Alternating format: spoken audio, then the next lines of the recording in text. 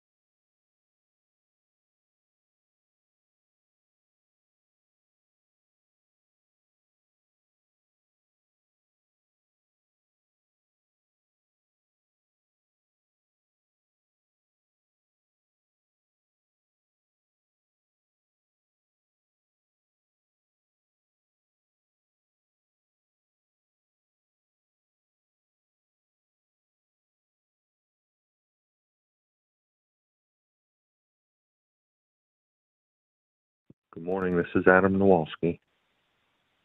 Good morning, Adam. You sound good. Thanks very much. I'll be on mute.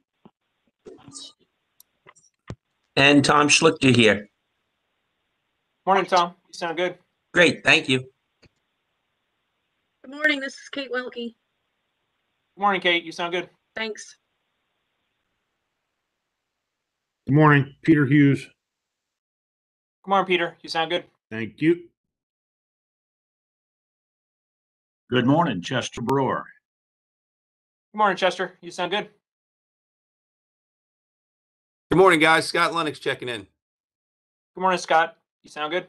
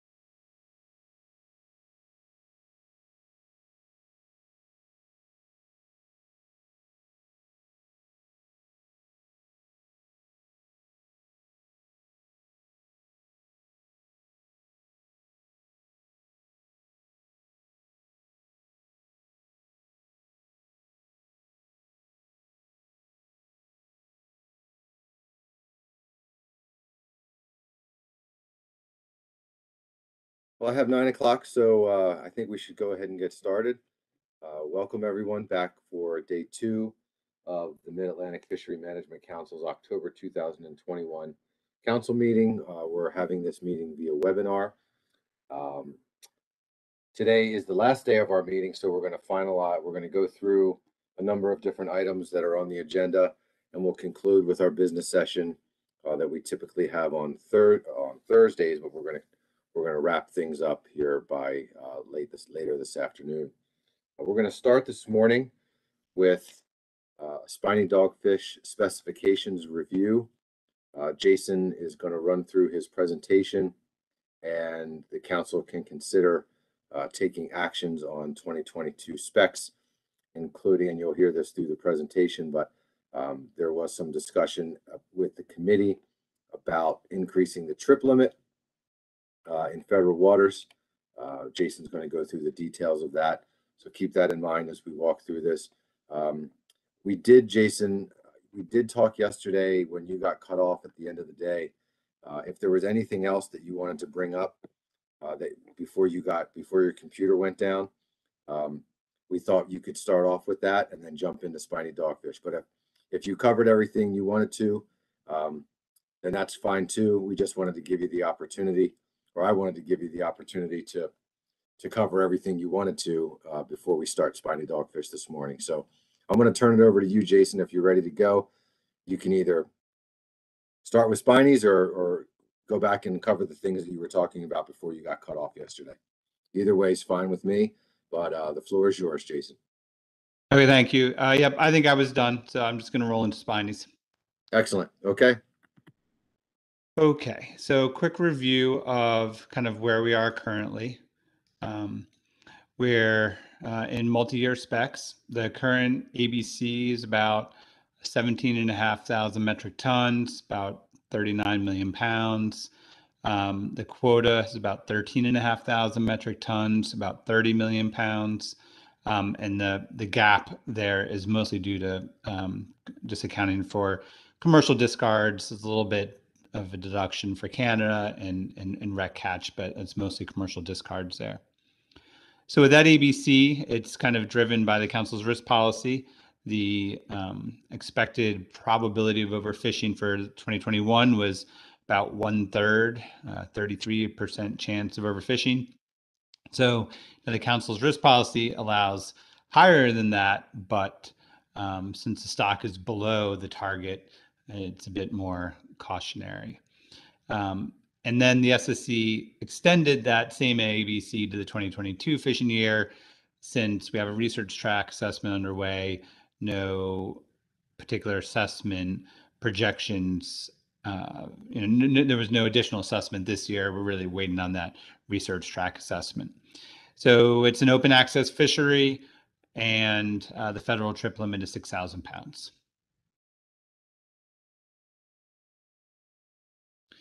Quick uh, we didn't get a data update from the center given there's a research track and we didn't ask for one. It was just kind of planned we have a research track assessment ongoing but they did provide uh, just a update of the survey. No survey in 2020 this is the spring uh, trawl survey by the center. So the 2021 data point is there uh, down a bit from 2019 but more or less splitting the difference of the two previous um, 18 19 and that data point is likely a bit of an underestimate. Some of the far southern strata were missed in 2021 and given how these are calculated um, that will kind of artificially depress that number uh, a bit. Uh, just the pup index um, again, same kind of story uh, about in between the two previous uh, data points, but up a little bit from the, the immediately available preceding data point. So just landings and quotas since management, you can see how as the quotas initially came up in the late 2000s, landings kind of tracked that, but then they've been, um, you know, depending on exactly what year you start at, uh, either level or or trailing off. Um, since uh, the 2010s, despite the quota um, being available. That big drop in quota for 2019 was due to an assessment update um, that indicated the stock size was lower. That dropped uh, the um, the the ABC, and then the projections allowed um, indicated some increases after that, and then you can see the flat quota for um, the last the, the last two years there. These are just landings for the current fishing year. Fishing year starts May 1, are in blue, and the previous year are in that yellow orange. So, you know, starting off with the previous fishing year, you can see is substantially below um, uh, the, the quota, and you know that got really flat at the end of the year. Often there'd be end of the fishing year, which is the winter. Often there'd be uh, substantial Vir- uh, Virginia landings during that kind of flat period at the end there.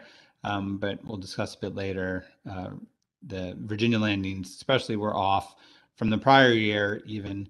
Uh, and then this year, uh, with the blue, that's really the Massachusetts fishery uh, in the summer and early fall. And you can see for the current fishing year, um, those Massachusetts landings are off substantially from uh, you know, in the current 2021 fishing year compared to the 2020 fishing year.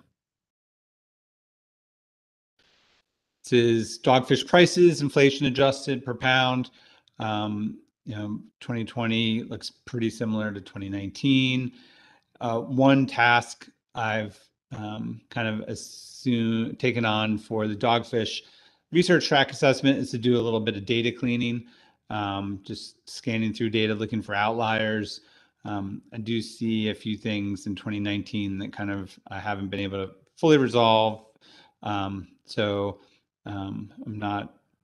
I think that, that there may be some adjustments that 2019 price, um, but uh, it's something. Um, and there's a lot of uh, records to to look through, so I'm trying to figure that. We have had some issues in the past with um, like spiny dogfish parts being um, uh, or whole fish being put in as parts and then they get drastically expanded up in the landings database.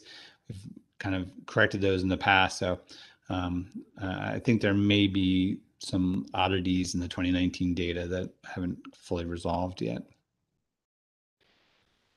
So the, you know, our normal process, we take um, kind of the basic fishery performance data to our advisory panel to do their fishery performance report.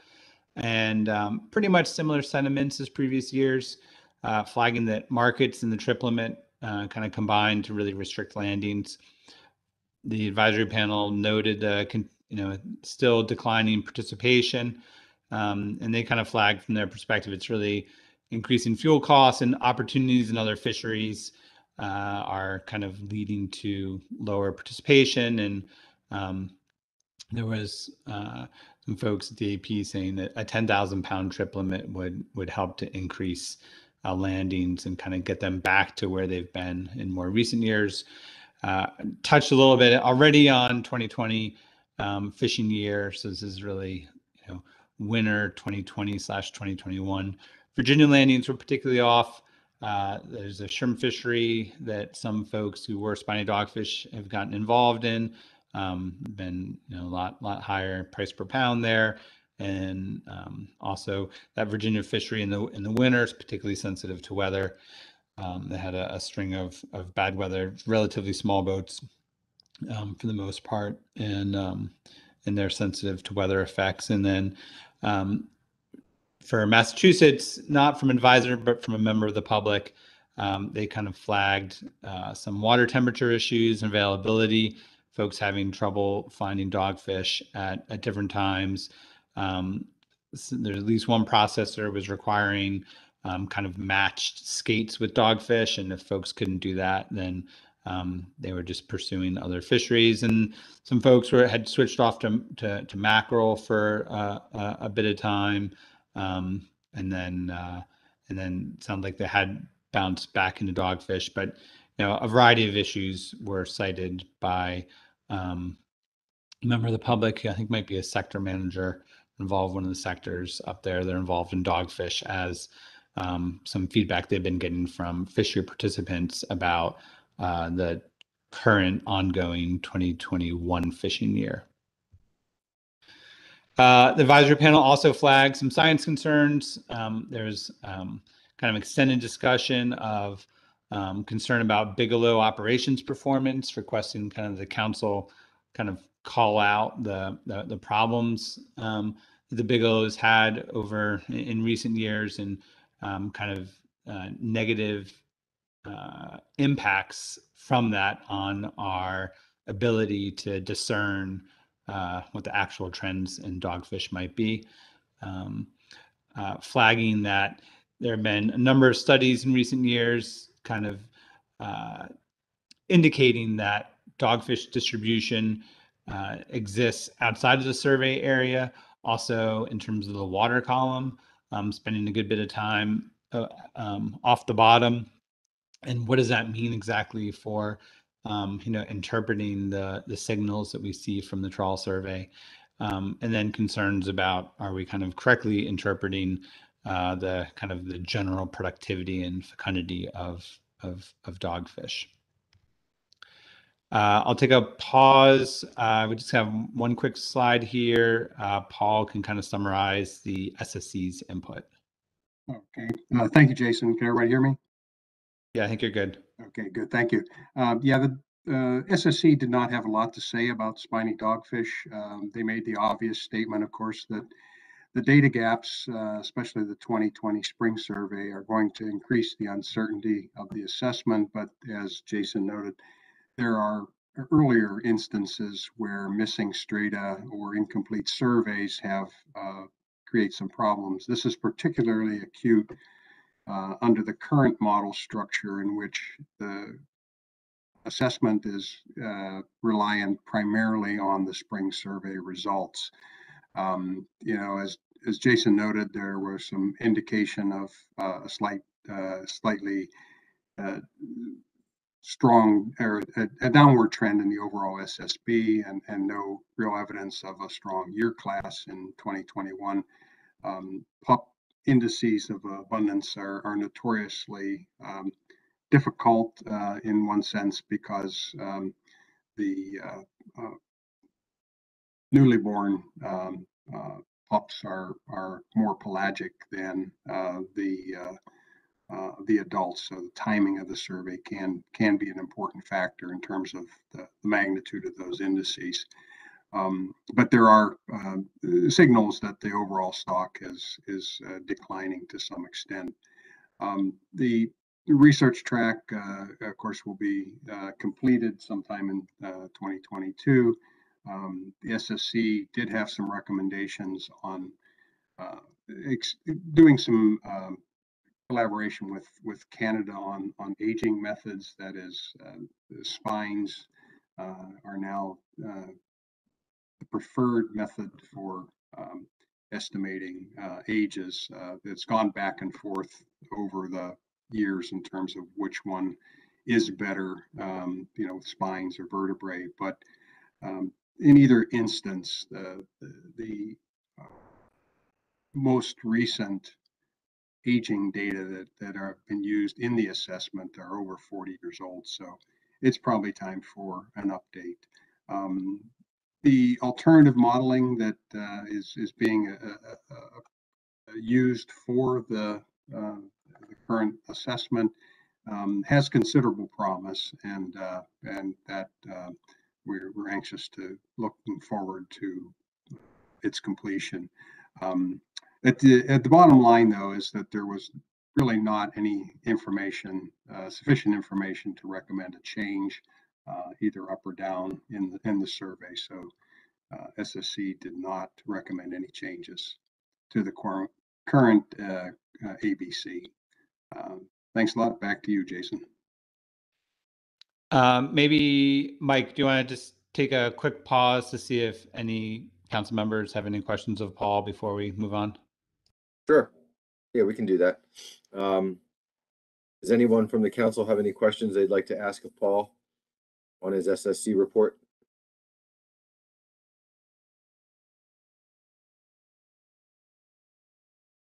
Is there anyone from the public that would like to ask a question of Paul on his SSC report? James Fletcher.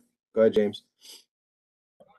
Dr. Rago, you stated that the population was in a decline, but since we have not done any surveys on the males outside of 100, 110 fathoms, wherever the Bigelow can survey, how can you make such a statement? The male population has not been fished except 10% since 1976. And if these fish live 30, 35 years, how can that statement be made? Perhaps it would be better to say the female population. Eh, I have pushed to get a male fishery in and nobody wants to do it. But how can that statement be made as scientific from the SSC, not from you personally, but from the SSC? How could such a statement be made? Thank you, sir. Sure, yeah, yeah. Thank you, James. Uh, your, your clarification is important and, and is correct. Uh, The SSB that is uh, presented here is female spawning stock biomass. Uh, In most other finfish uh, uh, uh, stock assessments, spawning stock biomass is um, presented as the joint um, uh, male and female um, uh, stock biomass. So uh, in this instance, um, uh, it, it is female only, and that I should have been more specific in terms of referring to uh, the spawning stock biomass being related to females. Um, you're correct that uh, uh, that male biomass, uh, male the fishing mortality on on males has been has been low uh, ever almost ever since the stock has been uh, exploited. Um, that is due to their offshore uh, abundance distribution, which is, uh, you know, they they are are much more common at the shelf break, and as experimental evidence, uh, particularly tagging, indicate they do uh, range outside the um, uh, survey area. So uh, the as uncertain as the female stock uh, biomass is, the male biomass is is is probably even more uncertain. So, thanks. Hope I've answered that that question. I, as far as the policy related to male only fishery, um, we've discussed this a lot, of course, over the years, uh, and uh, you know a lot of it relates to feasibility uh, and uh, and mixture of males and females and how that might be prosecuted. But um, that that's uh, more than I can probably get into at this point, or people would want to hear anyhow. So, but anyhow, thank thank you for the comment and thank you for the clarification. All right, thanks, James. Uh, thanks, Paul. Anyone else from the public have any questions for Dr. Rago? Okay, seeing no hands at this time. Um, thanks, Paul, for your report. Let's go ahead back to Jason um, for his final uh, slides, and then we'll have a discussion about um, how we want to move forward as a council. Go ahead, Jason. Thank you. Um, so as kind of part of the specs process, did a little extra look at um, the trip limits, trying to use price as an indicator of, um, this was kind of one of the topics that was potentially up for some of the kind of SSC, socio-econ kind of collaboration. Um, and then kind of in talking to some of the science center folks who potentially could have been involved with that, and they said one way you could look at is, you know, look at the price before and after the trip limit changes. Uh, doing that, it didn't seem like, um, you know, at least using price, and that's you know a, a limited way to look at things, um, and including you know coast-wide to get some discussion at the committee level that there may have been some some more kind of regional effects and trip limits imposed by processors on fishermen when trip limits started to change and you know it's um, we're looking at at, it- at that level of uh, of detail. But looking coastwide, there didn't seem to be any substantial price effects um, apparent from the two most recent changes, at least. Um, at the committee, there was some discussion um, that some additional descriptive info on recent trips might be useful um, to the council um, in terms of, you know, wh- what have trips been like recently? Might, you know, a trip limit be expected to kind of change behavior, a trip limit change be expected to change behavior in the fishery? So um, I just had a, a couple uh, descriptive slides here. Um, okay, so this is not um, the data that was in the price analysis because that was looking at you know 2014 and previous years. Um, but I looked at just the 2019 and 2020 fishing years. So there are about 88,200 trips with some federal permit. Um, and, and, and, and not, since the spiny dogfish permit can be um, picked up or dropped um, to some degree, uh, you know, identifying on each day who has which permit is um, a more complex analysis. But just looking at vessels that had federal permits of some sort, at least, um, and trying to get a sense of, of of what their trips are like. So this, and I've got a few slides that basically all describe the the, the same data in a couple different ways here. So this is just a scatter plot here. Each dot is one of those 8,215 trips. And it starts on the left, um, May 1, 2019 are those first dots that occurred at the start of the 2019 fishing year. At the far right are the last trips in the 2020 fishing year, be like April 30, 2021.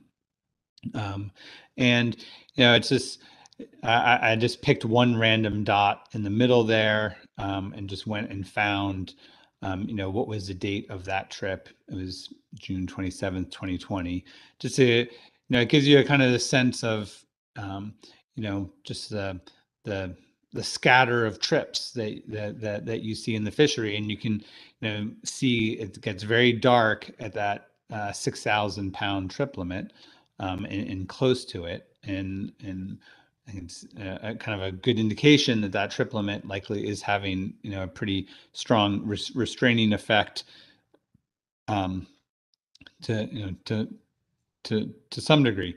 Uh, you can see kind of a smattering of dots above that. Uh, different states have um, have other trip limits, and um, and so you know that's that's where those are coming from these vessels may have had some other federal trip limit, perm, other federal permit, just not a spiny dogfish permit. Um, so those trips aren't necessarily illegal. Um, and um, but that's the it's it's easiest to identify trips um, if they have at least some federal permit. It gets a little hairier with with with others, and and this is like ninety three percent of the landings are accounted for um, in these eight thousand two hundred fifteen trips. So that's kind of one way. Now, same data, um, just from a little different perspective. I just sorted the trips, largest to smallest, um, and then said, okay, how, you know, what kind of trips account for most of the landings? And so on the far left over here, um, again, I sorted them first, largest to smallest. So this first vertical line here on the left, um, the trips to the left of that line were more than 6,000 pounds and they represented about 4% of landings. So trips greater than 6,000 pounds, um, 4% of landings. Then this next area here, and I'll kind of, hopefully that little flashing. So in this area, um, is all the trips, and this is really not a line, but a series of all those dots sorted, all those trips sorted, largest to smallest. So all the trips between 5,800 pounds and 6,000 pounds, uh, they represent 37% of all the landings. Um, and so 37 plus the other four, now we're up to 41% cumulative are 58 or greater, 5,800 pounds or greater. Um, and then the next chunk here, um, kind of in this area here, these are trips that were between 5,000 pounds and 5,800 pounds. And that's about a quarter of the landings are in that 5,000 to 5,800. And now we're at 66% of all landings of all these federal landings, which are like 93% of all landings, um, are 5,000 pounds or greater. And then um, when you kind of, so we've accounted for two thirds of all the landings basically are by this 5,000 pounds or greater trips. And then this, you can kind of see, you get smaller and smaller trips. They represent, um, you know, a, a, a slow, a, a smaller and smaller chunk getting to 100%. So all these other trips out here just are about a third of the landings. Um, and so one other kind of way, again, I'm just just kind of describing the exact same data here in a couple different ways. Um, so this is the same 2019, 2020 trips, the same 8,000, um, 8,215 trips. I just, um, you know, create a little histogram of, you know, how many trips were in these different categories. Um, you know, up to a thousand pounds, 1,000 to two, two to three, three to four, four to five, 5,000 to 6,000 pounds, and 6,000 plus. And these are just counts of how many trips. So you know, so certainly the plurality of trips, the single greatest bin here is in this 5,000 to 6,000 pound range. Um, and that 62% of all the landings occur on these, you know, 3,200 trips uh, that are between 5,000 pounds and 6,000 pounds. Um, so that's most of the trips as a count are in that 5,000 to 6,000 bin, um, and they represent 62% of all the landings. Um, so again, just giving folks a, a, a flavor of how um, uh, of the of, of, the characteristics of trips in the last two fishing years, 2019 and 2020 fishing years. And uh, you know, I, think the, the the one that kind of to me tells the story clearest is is this first one, how you know you have that hard line right at 6,000 pounds um, as an indication that you know as um, you don't know how you know people are going to take advantage. Certainly, when I looked at the other um, you know at these other trip limit changes back in 14 and 16, um, you see people taking advantage of the increase almost immediately, um, but not everyone and not every trip um, either. So it gets you know very hard to predict given you know, the markets and and you know our and, and price affecting you know markets is and ex vessel price incentivizing people to go fish for dogfish is really the ultimate driver here um, but you know given the use of the higher trip limit at the last two changes um, given there's a lot of activity very close to the trip limit right now you would expect um, to see people take advantage of that. And you know whether it's just existing trips, um, you know, not discarding you know more fish because a lot of this is gill net, so they kind of have to stop, um, and um, you know they may haul haul nets a little differently. You know they're really trying to hit hit their trip limit there, um, so might not necessarily create extra effort um, may create some extra trip or more. I think you know part of the discussion at the AP was that um, you know the higher trip limit might um, re-incentivize some vessels who had kind of stopped participating to start participating. So again, the the exact um, you know behavior that you'd expect at a higher trip limit is you know going to be somewhat uncertain, but it seems like it's likely to be taken advantage of to some degree. Um, so for the Spiny Dogfish Monitoring Committee, uh, we have two um, in this FMP, two ex officio non-voting industry members on the monitoring committee. Um, and their recommendation at the monitoring committee was to double the trip limit to 12,000 pounds through an emergency action um, to, you know, try to increase some landings, um, incentivize a return to the somewhat higher participation levels as seen in recent years, and I think a lot of the discussion was that uh, um, this is an effort to preserve markets um, and um, kind of you know stop the, the, the decline of participation in, in, in landings that we've seen in recent years. The um, other monitoring committee folks are concerns are more kind of process oriented. In terms of trip limit, the monitoring committee has been pretty consistent over the years saying that as long as we're adhering to the overall ABC ACL, the different trip limits really shouldn't uh, negatively affect stock size. Um, as long as you know, if the ABCs and ACLs are are are sufficiently protective of the stock, you know the trip limit shouldn't matter that much biologically as long as you're holding to those ABCs ACLs. However, the size of you know any contemplated change in a trip limit kind of dictates whether it'd be most appropriate to pursue um, you know a change via specifications or is it such a substantive change to the fishery that it'd be better to do it via a framework in terms of um, public notice and comment opportunities um, and and also if you know depending on the impacts that any change might lead to you know, determines what the appropriate NEPA document, um, supporting NEPA documents might be. Uh, sounds like at the committee level, at the committee, um, you know, in terms of a, a moderate change, uh, there may be some expedited NEPA type documents that would facilitate, um, you know, kind of mm, uh, a, change through specifications not being an overly burdensome um, process. Uh, there was some discussion of you know the applicability of an emergency rule. I think um, in general the nature of the discussion was that given this has been kind of an ongoing topic of discussion year after year, that um, likely um, kind of eliminates it from being emergency action, emergency rule type thing. Um, and when when you look at kind of the criteria for emergency rules, um, that's my sense. Uh, GARFO can expand on that um, if I have that wrong or correct or expand as necessary.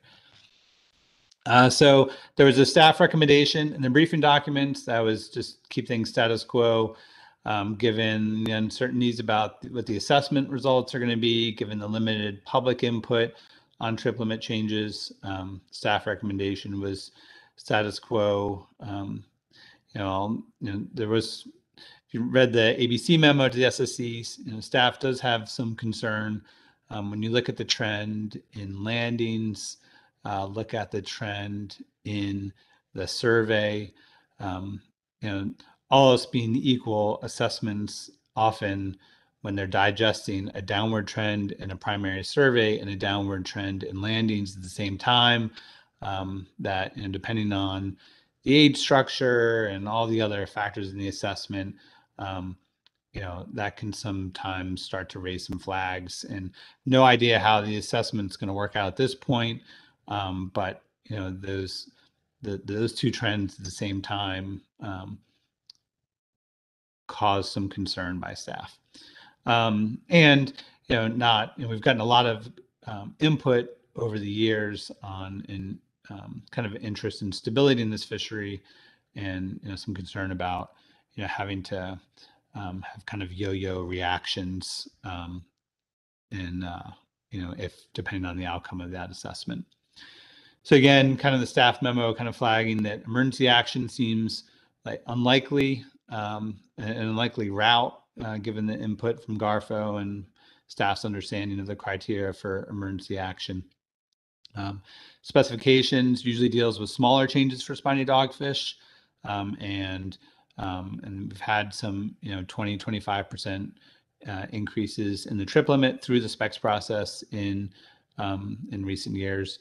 Gen- generally, it's a May one target for um, for for enacting uh, changes via the specifications. However, um, you know, the last few times when there have been trip limit changes through specs. Um, it's kind of dragged out later than that, but May 1 is generally the specs uh, target. Uh, framework, you know, can always evaluate a, a, wide range of options, also facilitates public awareness, but takes longer and the two councils have to agree on um, on changes made via a framework. While with specifications, if the two councils disagree, NMFS has a lot of flexibility to um, to come up with some kind of solution. They can pick one, the other, split the difference. Uh, there's a lot of flexibility for NMFS to resolve differences if there are differences among the between the recommendations made by the New England and the Mid Atlantic Fishery Management Council for this jointly managed species. Uh, quick assessment update. Um, Paul touched on this a bit. We've had two meetings so far. Um, where um, you know, the, the, center is evaluating resources to to do some um, aging of some spines that we have to re-examine the growth information. Uh, the council and SSC research recommendations have been kind of highlighted um, to the assessment uh, working group, and they include kind of you know looking at the the, the aging and, and, and, growth information, and it's really just kind of um, you know in the in the starting phases of the assessment. It's a July review, and then we'll go into the management track process, and then be available for some ABCs and using hopefully a new assessment approved assessment document to set future ABCs in the fall of 2022. Uh, so there were two committee motions uh, that were um, passed uh, unanimously out of committee, save an um, abstention from the NMFS member of the committee. Um, the committee uh, moved to recommend to the councils that they adopt a trip limit increase to 7,500 pounds via um, the most expedient process possible. Again, NMFS can't exactly determine the um, optimal NEPA document until they see what the recommendation actually is and some preliminary evaluation of impacts. There's some sense that some expedited NEPA process is possible. However, um, we also discussed at the monitoring committee and committee that um, you know, there are additional pressing protected resource concerns. Um, there's a new phase of take reduction um, underway that's looking at um, other gears, including gillnet. So how that process works out, but with the new biological opinion um, for um, all the mid-Atlantic species, uh, that has to be integrated even to a uh, uh, an, a smaller NEPA document, and um, that's going to take a little extra time, but um, we tried to do it as expedited as possible. And then the second committee motion was um, that the council then prioritize a framework to consider additional trip limit changes, but with work beginning after the completion of the research track assessment to you know, get get you know not not start work um, before those um, those results are known. And that's it for me. Thank you. All right, thanks, Jason, uh, for your presentation. Let's see if members of the council have any questions for Jason regarding um, what he presented to us. Anybody have any questions?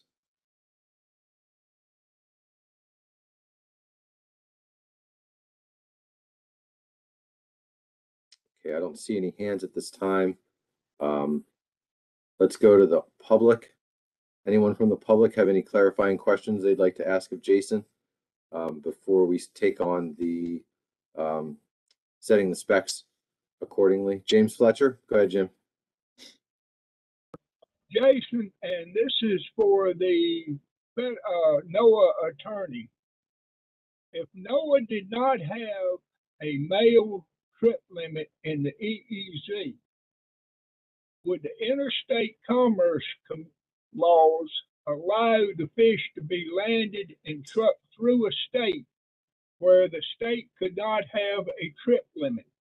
In other words, if you caught the fish in federal waters and were sending them to a state that did not have dogfish on its management, would interstate commerce allow them to be taken from federal waters into that state and the port that they were passing through, could they interfere with it? That's a question in the future for a NOAA attorney. The second question to Damon, I mean to Jason, what difference would a hundred thousand pounds make as far as the amount of landings. Are most of the landings in the northern states that bump up right now against the sixty-five hundred pound limit, or are they in the southern states? It wasn't clear whether where most of the uh, landings that bump up against trip limits are. So I guess the second question is, where are most of the landings that bump up against the trip limits? Thank you.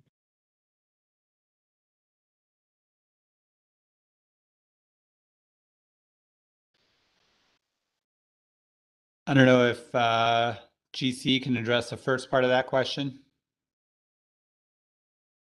Um, I'm not sure I can, but I'd, I'd ask Mr. Fletcher for a little clarification on his, on his question. Is the question, the, the fact pattern that you laid out is one where, where there's federal trip limits, but a state doesn't allow landings of any kind? Is that the question? No, the state has a trip limit, we'll say sixty-five hundred pounds right now. But if an industrial fishery developed that wanted to land hundred thousand to three hundred thousand pounds, come through, offload in the state, and then truck them to another state that does not have it, would the state that it was going through be able to interfere with the catch. In other words, interstate commerce, you can go through a state with a tractor trailer carrying a product that's not allowed in that state as long as the truck doesn't stop in that state. So I'm just trying to lay the groundwork for a male fishery two to four years from now and get all the things straightened out of whether you could offload in a state and it not be regulated by that state. Thank you. Okay, well, um, as to that scenario, Magnuson has provisions whereby a state couldn't, you know, if, if state measures interfere with an FMP, and I think that's kind of what you're getting at is, is state, these, sta- if there was that fact pattern, the state management would interfere with the goals of the federal FMP, then the Magnuson has provisions by which this, you know, basically the federal fishery would impose measures applicable in the state waters as well. So that's a path forward that could address that, that scenario through Magnuson.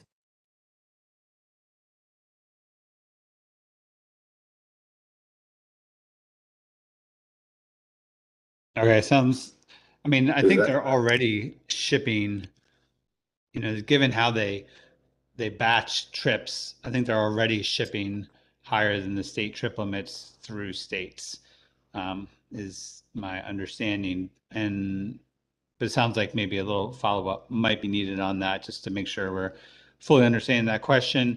Um, I think on, um, I just, you know, the landings have been kind of split um, in recent years between Massachusetts and Virginia. Um, and uh, again, Virginia had a drop off in the last fishing year. Um, I don't, I'm not positive the answer to your question, but I mean, given the nature of landings overall and with just those two states, I think they're going to have to be a lot of, and given the majority of landings are kind of close to the trip limit anyway, I think it's going to have to be both. Um, uh, you know, Massachusetts, and Virginia, um, and you know, seeing trips close to the trip limit um, is my general sense of the data, but I can't be hundred percent sure. But again, given where landings are coming from in general, I think it's going to have to be both, but I'm not hundred percent sure.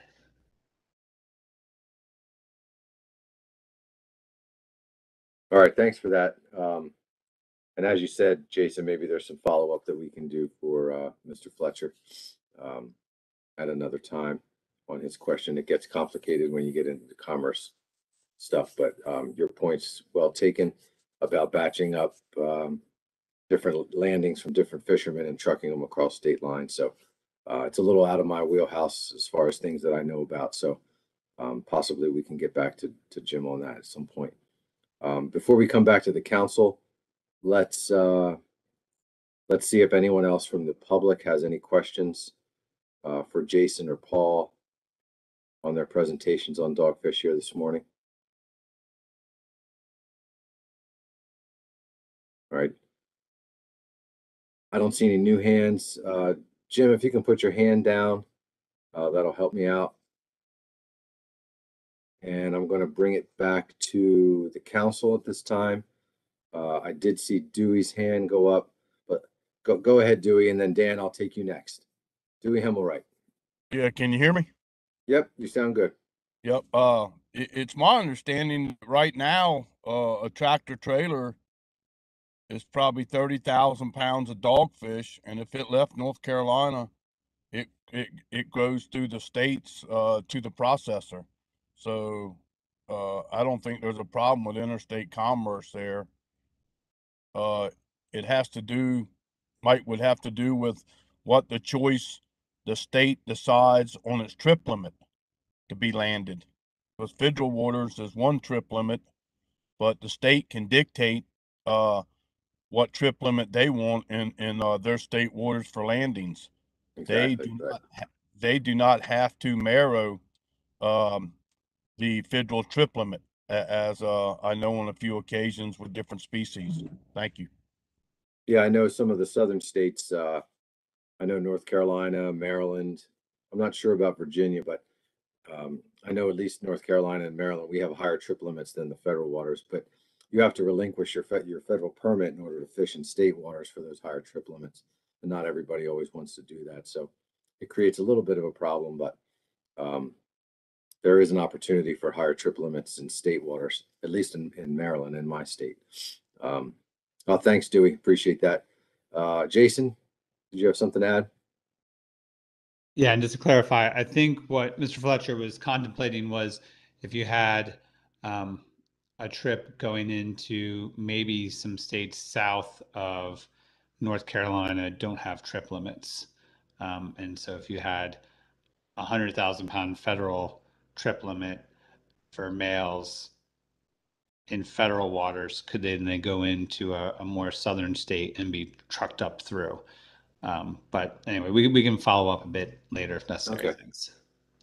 Yeah, thanks. Okay, sounds good. Uh, Dan Farnham. Yeah, thank you, Mr. Chairman. Um, to, to your point, uh, uh, Jason, can you tell us what states do allow a higher trip limit when fishing under a, uh, a non-federal permit?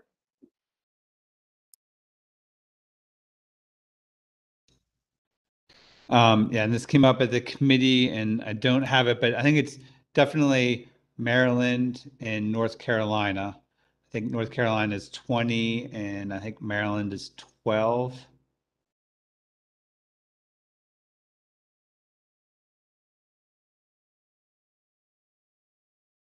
Yep, okay, very good, thank you.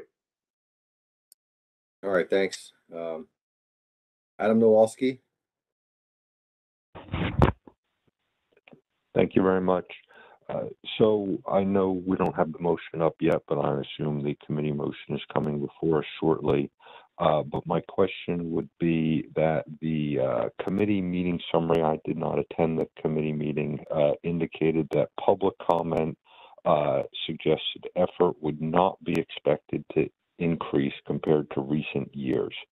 Uh, Given a unanimous committee uh, ap- approach this and not having heard anything from my state fishermen, I don't have a reason to oppose that committee motion once it comes forward. Uh, but I am wondering if you might be able to elaborate on if there were any public comments during the committee meeting uh, that were in opposition uh, and what they might have uh, centered on if in fact there were comments in opposition to this previously. Yeah, thanks, Adam. I, I was able to participate on most of that meeting, but I missed this part of the discussion. I had another appointment I needed to be at, so I'll go to Jason or Sunny, uh, who led the meeting, uh, to see if they can provide you, uh, answers to your questions.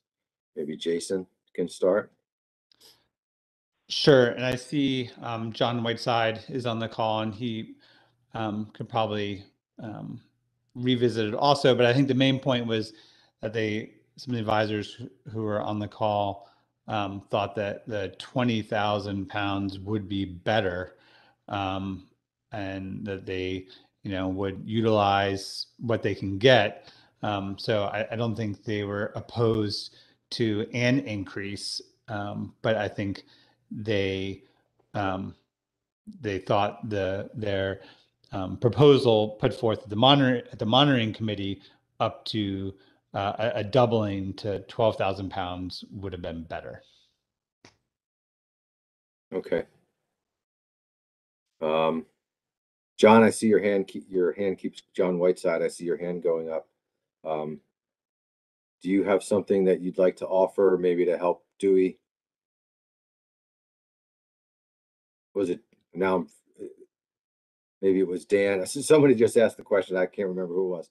Um, but maybe you can offer your thoughts, uh, if you were participating on that call, John. I was. Uh, Thank you, Mr. Chair. Uh, Yes, I'm a part of the AP as well as the monitoring committee, and at both of those meetings recently, I was um, in favor of a 12,000 pound uh, trip limit, not, um, uh, not the 20. I think um, Jason just misspoke there. Um, And there was another member of the monitoring committee who also uh, expressed the 12,000. And then um, at the AP, there was further discussion about, uh, I believe, uh, of a 10,000. Uh, We are at 11% of the, uh, of the quota this year. We're less than half of what we were last year. We're, you know, 3.3 million pounds versus 5.9 last year and uh, year before, uh, you know, 5 point, ri- right about 5.9 million. Year before that, 6.2.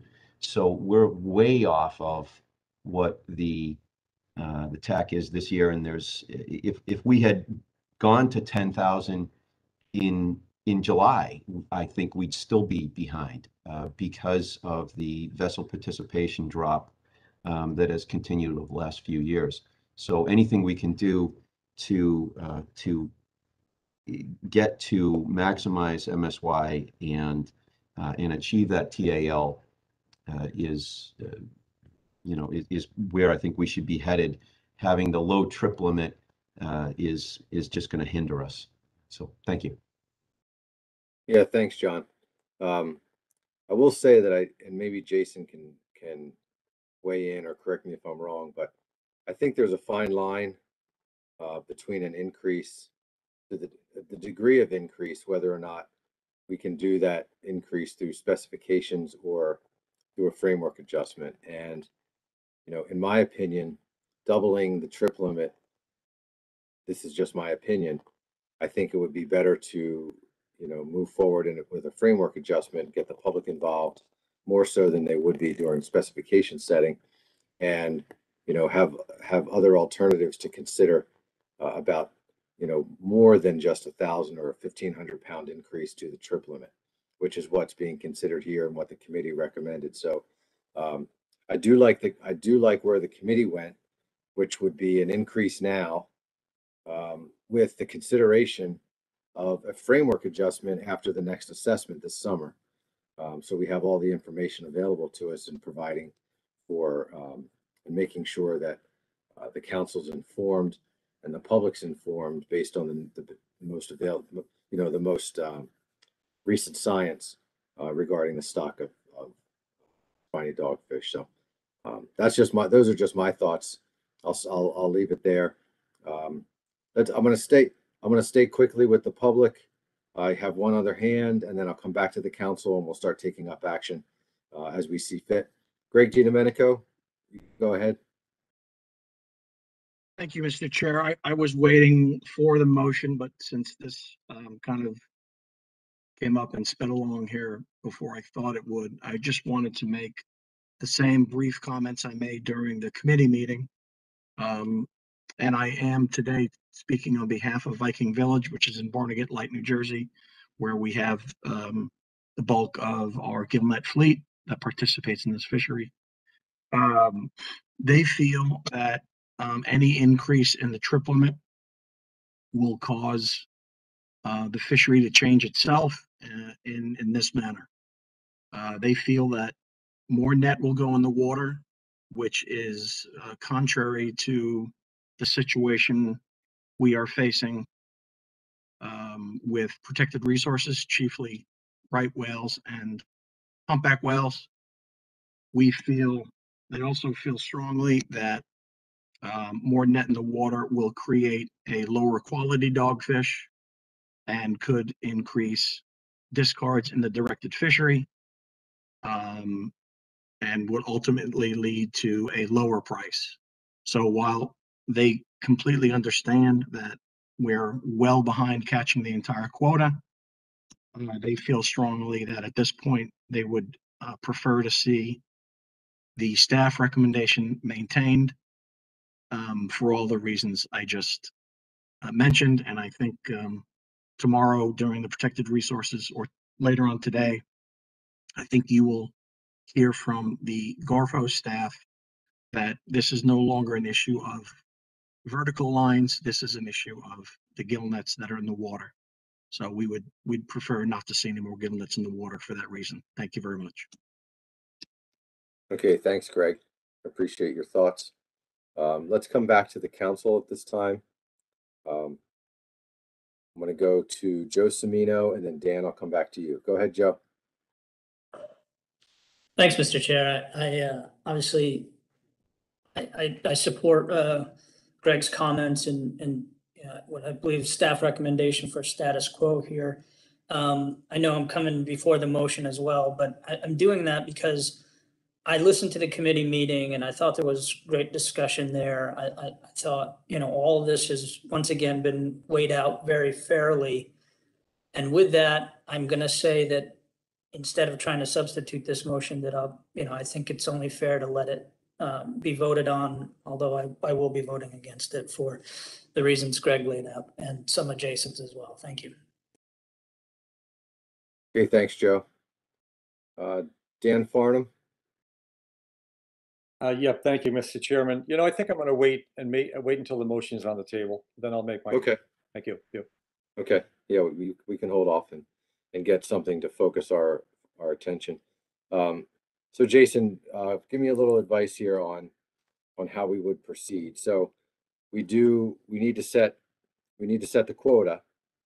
Um, but then we have this trip limit issue. So, So no, no action is necessary um, relative to the ABC. We're in multi-year specs.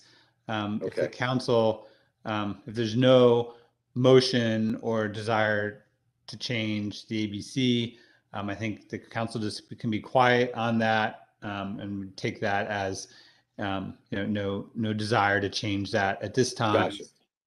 okay. Well, let me ask the council. Um, is there anyone from the council who would like, to- or well, is there any objection to moving forward uh, with a status quo on the ABC for next year's fishery? Okay, I see no hands at this time, so we'll assume that um, the council fully supports uh, maintaining um, status quo ABC for next year. No, no desire to change ABC. Perfect.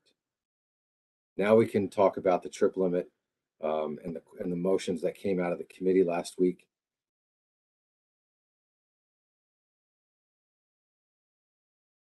So Sunny, um, this is your committee.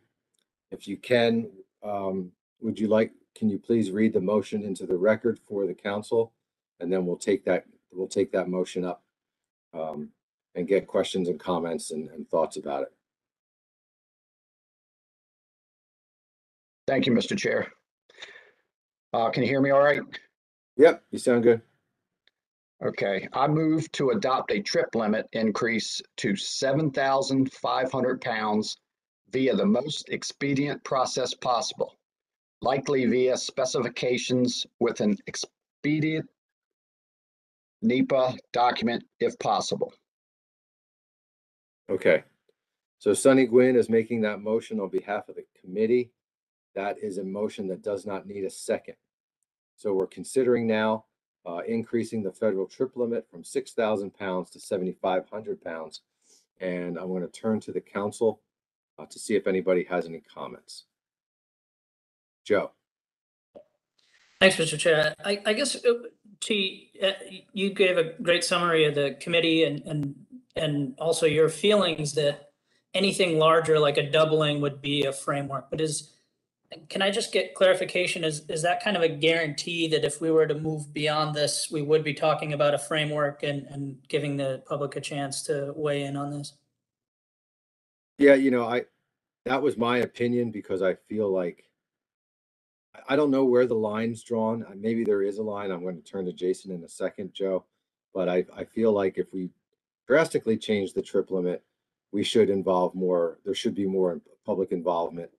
Um, a longer process with, with multiple options, uh, for consideration. But, uh, let me go to Jason, uh, to see if he, if he knows a little more than I do. I'm sure he does about where that line might be and whether or not this is something that we can do under specs or if we increase to twelve thousand, would we need to do a framework? Jason?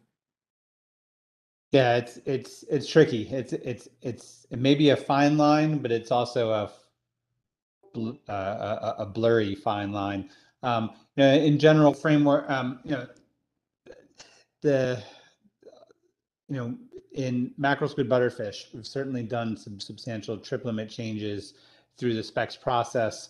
But I think in that case, there wasn't an expectation that it would kind of change the the nature of the fishery operation. Um, I think the monitoring committee, I think, has been concerned and provided the input that you know, there, given the potential concern for um, you know, for some substantial change in the nature of the fishery, if it if the quota was doubled, given you know there is a lot of activity, uh, if the trip limit was doubled, given there is a lot of activity right at the trip limit now. Um, that that seems more appropriate for a framework. Um, and you know, I guess I'd ask you know GARFO to to kind of confirm um, that, that that you know that's um, that this seems to rise to a substantial enough change to warrant a um, uh, a framework versus just dealing in specifications. All right, thanks, Jason. Uh, Mike Pentony, I just saw your hand. Go ahead, Mike. Thanks, Mr. Chairman. Um, yeah, just to follow up on that, you know, the, the regulations clearly say that, you know, part of the specifications process is to set the possession limit, the federal possession limit. So arguably, any possession limit, six thousand pounds, five thousand pounds, twenty thousand pounds, um, could be done through a specifications process rather than a framework. Um, but you know, there's kind of two important questions associated with that. One is um, the level of NEPA analysis that would be required, and I think kind of Jason kind of hit on that. You know, anything significant, a significant deviation from what we've done in the past uh, would require a more uh, thorough and expanded NEPA analysis. So we'd move probably away from um, you know what we call a SIR to uh, you know a full environmental assessment if we're going to have a significant increase in the possession limit. And then the other aspect of that is really just a there's a policy call on behalf you know of the council. Um, you know, and, and Jason kind of hit on this point too. There's there's a and we've heard this during the public comment um, already. There's there's a wide variety of perspectives on what the possession limit for um, for dogfish should be. And so kind of a council best practices would, you know, if the council is going to consider substantial changes to the possession limit, going through a framework process, you know, ensures a more comprehensive public review and, and opportunities for public comment than the specs process. But that's not a legal call. That's really just a, a council practice uh, decision, I think, because the regulations say you can set the possession limit as part of the specs process. I think if the council was contemplating eliminating the possession, the federal possession limit entirely, um, that would, I think that would, would then violate the, the regulations in- for specs and would, would require at least a framework adjustment, if not an amendment. Okay, I appreciate that, Mike. Gives us something to think about um, in moving forward. I do think, though, that the increase here, um, you know, I'm comfortable with the increase being done via specs. It's not that much of an increase, and uh, I'll just I'll lay it out there for everybody. Uh, I would be uncomfortable if we were doubling or tripling the, the trip limit and doing it just through specs. It would it would make me uncomfortable, and as chair of the council, I would have to work with staff to determine whether or not we would move forward um, with a framework adjustment in the future if that were something um, that would come out of possibly uh, an action after the stock assessment's completed this summer. So uh, I'll stop there and let other council members speak on this. I'm just going to go down the line. Uh, we'll start with Chris Batsavage. Go ahead, Chris. Thanks, Mr. Chair. Um, yeah, I support the motion, although at the committee meeting, I was, uh, uh, I, I had some concerns before ultimately, uh, supporting it.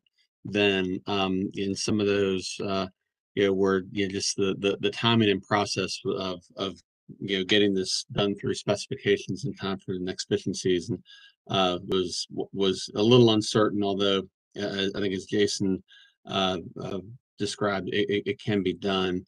Um, and uh, and also uh, you know potential protected resources concerns with with any with with with increasing the, the trip limit if that increased effort how that might work in toward towards risk reduction which we'll hear more about later this afternoon um, but uh, but you know again it's it's not a it's not a very large increase um, you know it, it, it could incentivize uh, you know some high you know, higher landings what we currently have now which is really low uh, although, yeah, I think some of that is going to be offset by by things that are that are out of control of uh, of of the management process when it comes to dogfish. Uh, you know, such as availability, kind of the northern and southern parts of the range. You know, some some years they're there, some years they're not.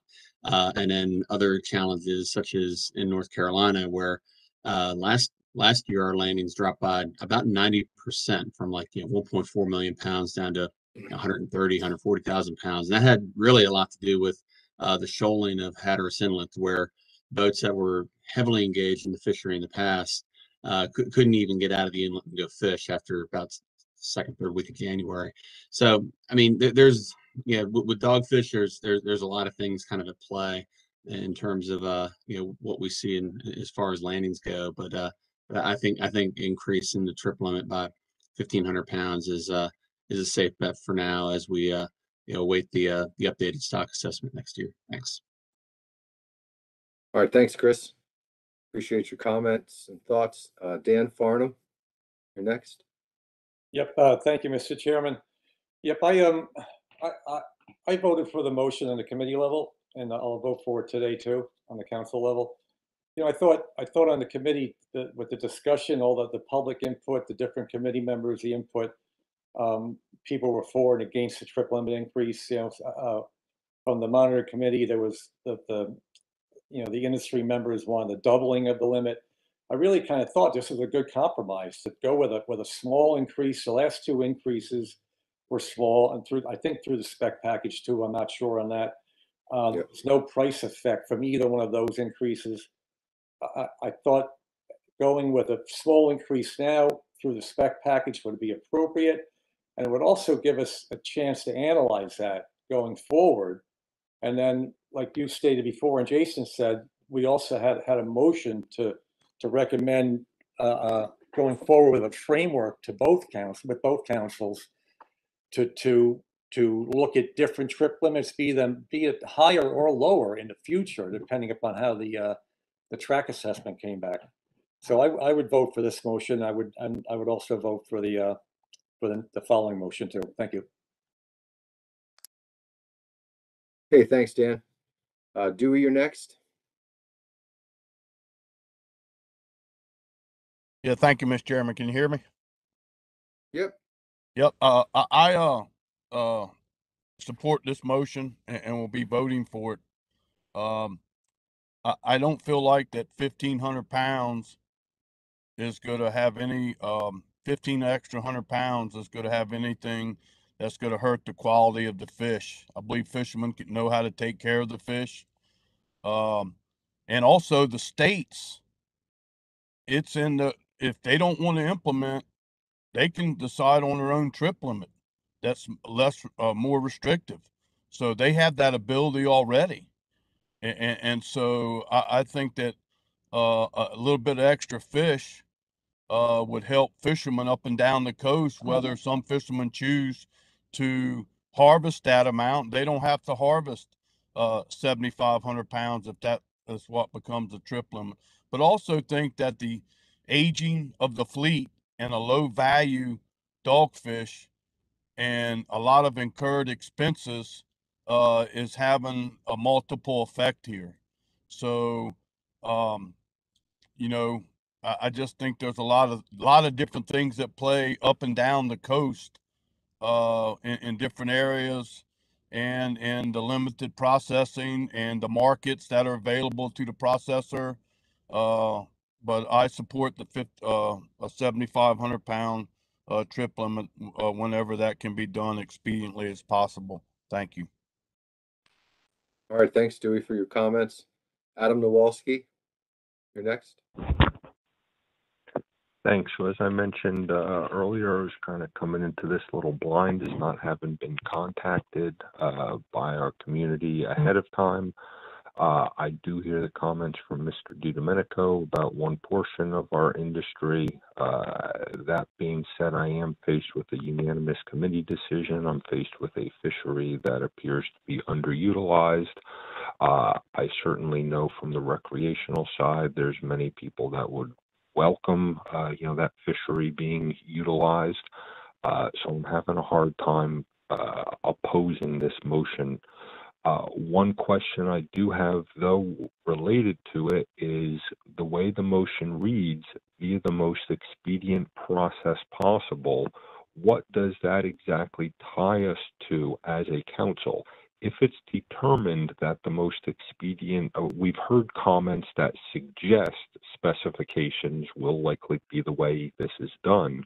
But if there should be some hiccup in that process, and the most expedient process becomes a framework or an amendment, does this motion as it's written tie us to that, have that essentially been initiated as a result of this motion because that alternative means the specs becomes the most expedient process?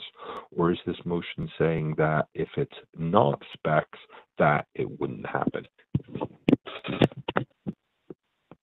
I would say, Adam, um, my interpretation of this is simply the most expedient process possible, period. In parentheses, is providing a likelihood of specifications being the most expedient. Um, which I, which I think if you ask anyone, we, that, that is the most, that is the quickest way to get something done rather than having a framework adjustment or an amendment. So that's just providing an example of what would be, would likely be the most expedient process possible. I don't think it ties us to anything, but I would assume that, um, that specifications is going to be the quickest route for us to get to an increased trip limit. Um, but if it ends up not being the quickest, then we'd have to consider other alternatives. Maybe Jason can add to that as well. Jason?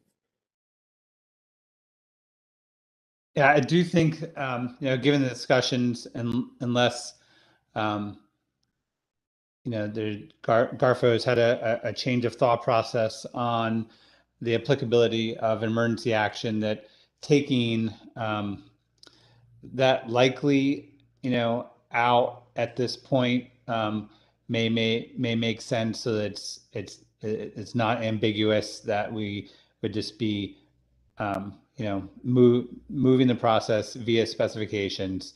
And, and then again, we try to expedite the NEPA process, um, to, to, to the extent possible. So I don't know exactly the, the, the Roberts Rules process for a committee motion, but I'm suggesting the council consider just deleting that likely.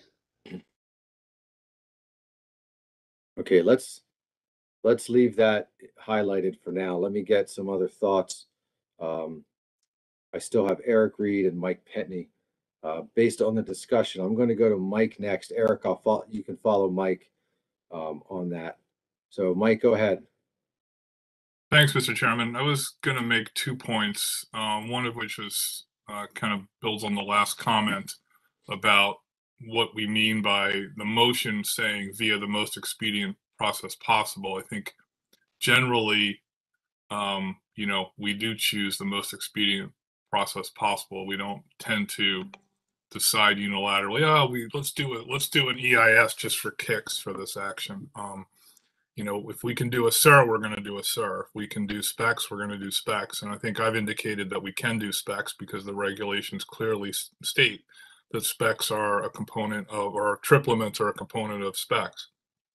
So I would suggest if we're going to delete anything to clean up this motion to be more clear, we just delete everything after pounds. Um, I mean, that's what we're doing is we're, we're, the council would be adopting or recommending um, that we increase the trip limit to 7,500 pounds as part of the specs process. Um, everything else seems uh, unnecessary. Uh, and the second point I wanted to make is that I will vote in favor of this motion because I think it's a reasonable compromise given a, a lot of the public comment that we've heard today. I know it's not unanimous, but um, we have heard uh, a variety of, of, of people's uh, positions on this, and I think a, a marginal 15, you know, 25% increase in the, in the quota for the possession limit is is a reasonable way to go. But I also wanted to clarify that um, you know we we need to hear from the New England Council um, in a couple months, and they may take a different approach, uh, and it's possible that I would support a different motion at that meeting. Um, and then ultimately, if we do get two different uh, recommendations, as Jason indicated earlier, uh, then the agency would need to select um, effectively between the two recommendations of the council. And so I wanted people to be clear, if I support this motion today, uh, that doesn't, that shouldn't be an indication of how I would, uh, what decision I might make if we get a different recommendation from the New England Council. Thanks. Okay, thank you, Mike, for that clarification and your suggestion about cleaning up this motion. Um, I'm gonna have to ask John Almeida for some advice. Uh, we've, this is a committee motion. Uh, it's now, um, in possession by the council. And I don't, should, is this something where if, John, if the council does not oppose the removal of the highlighted section that's on our screen right now, is that simple enough to remove it? Should I, or, or are we too far along? Do we need to do a, a substitute or an amendment to strike, to strike those words from this, from this motion? I mean, where it, where it is coming as a committee motion, I think that we might want to go through the formality of amending it to remove that highlighted language if that's what the Yeah. council wishes to do. I mean, I, Yeah, I, okay. I presume, I presume you would try to do it by consent, by consent. Um, and if that's the case, you know, just go through that formality. Yeah, let's, I, I think that's, I, I, I would prefer going through the formality, so, um, Mike made a good point, uh, as others did about, you know, clarifying this and, um, using the most ex- um, expedited process and expedient process, uh, possible, so let me turn to, and Eric, I'll get, I'll get to you in just a second, um, let me turn to the council to see if anyone would like to make a motion to amend to strike the highlighted section from the main motion. Adam, I see your hand up. Yeah, thank you, Mr. Chairman. I think that's a great way forward, addresses my concern, so I will make that motion. I move to amend to strike uh, all words after pounds. Okay, thank you for that. We have a motion by Adam Nowalsky. Dewey Hemilright, are you seconding that? Yes, sir. Okay. We have a second by Dewey. Eric Reid, I'm going to come to you next, and then uh, I know you wanted to probably comment on the trip limit. Uh, so, but you can make comment whatever you'd like to do, either on the amended motion or the trip limit at this point. Eric, go ahead. Yeah, thank you, Mr. Chairman. Yeah, I- Mr. Pentony basically covered the, the the process portion of this. New England is going to have to take up some sort of action, a following action, I believe. Um, the motion amended or not, I, I certainly support an- an increase, the increased flexibility. A, a trip limit, a modest trip limit increase is going to provide to the fleet.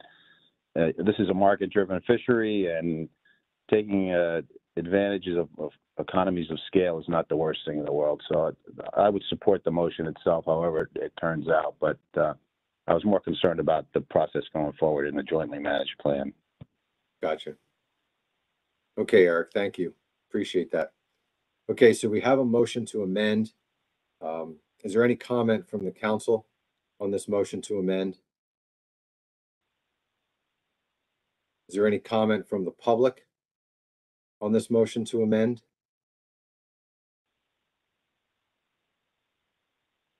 Okay, seeing no hands, bring it back to the council.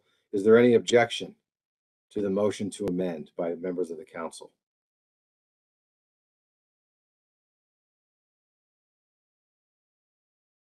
Okay, seeing no objection, the motion carries by consent. We'll go ahead and strike the words after pounds from the main motion.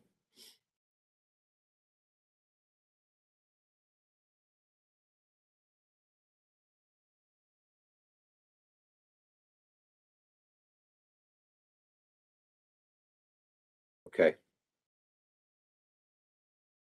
Okay, back to the discussion on seventy-five hundred pounds. Are there any further comments by members of the council on this?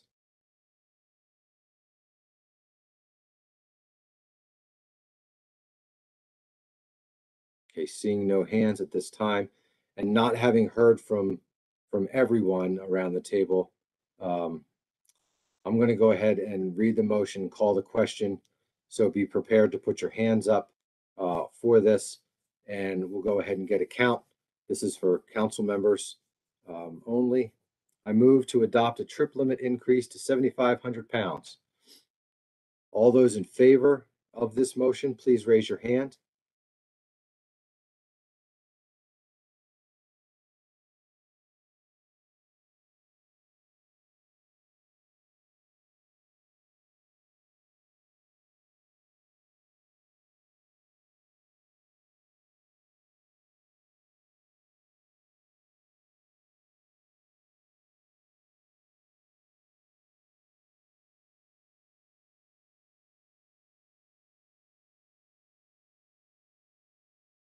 Okay, I counted 18. Did anyone else get a similar count?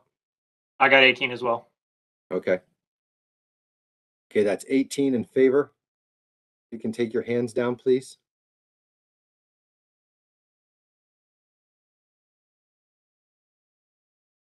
All those, everybody's hand down? Yes. All those opposed to the motion, please raise your hand.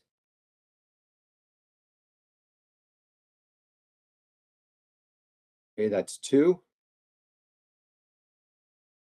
Take your hands down. Any abstentions?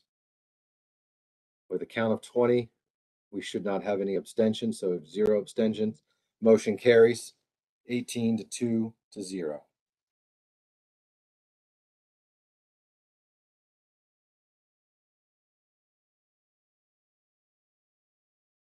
Wait to get that notation on the screen.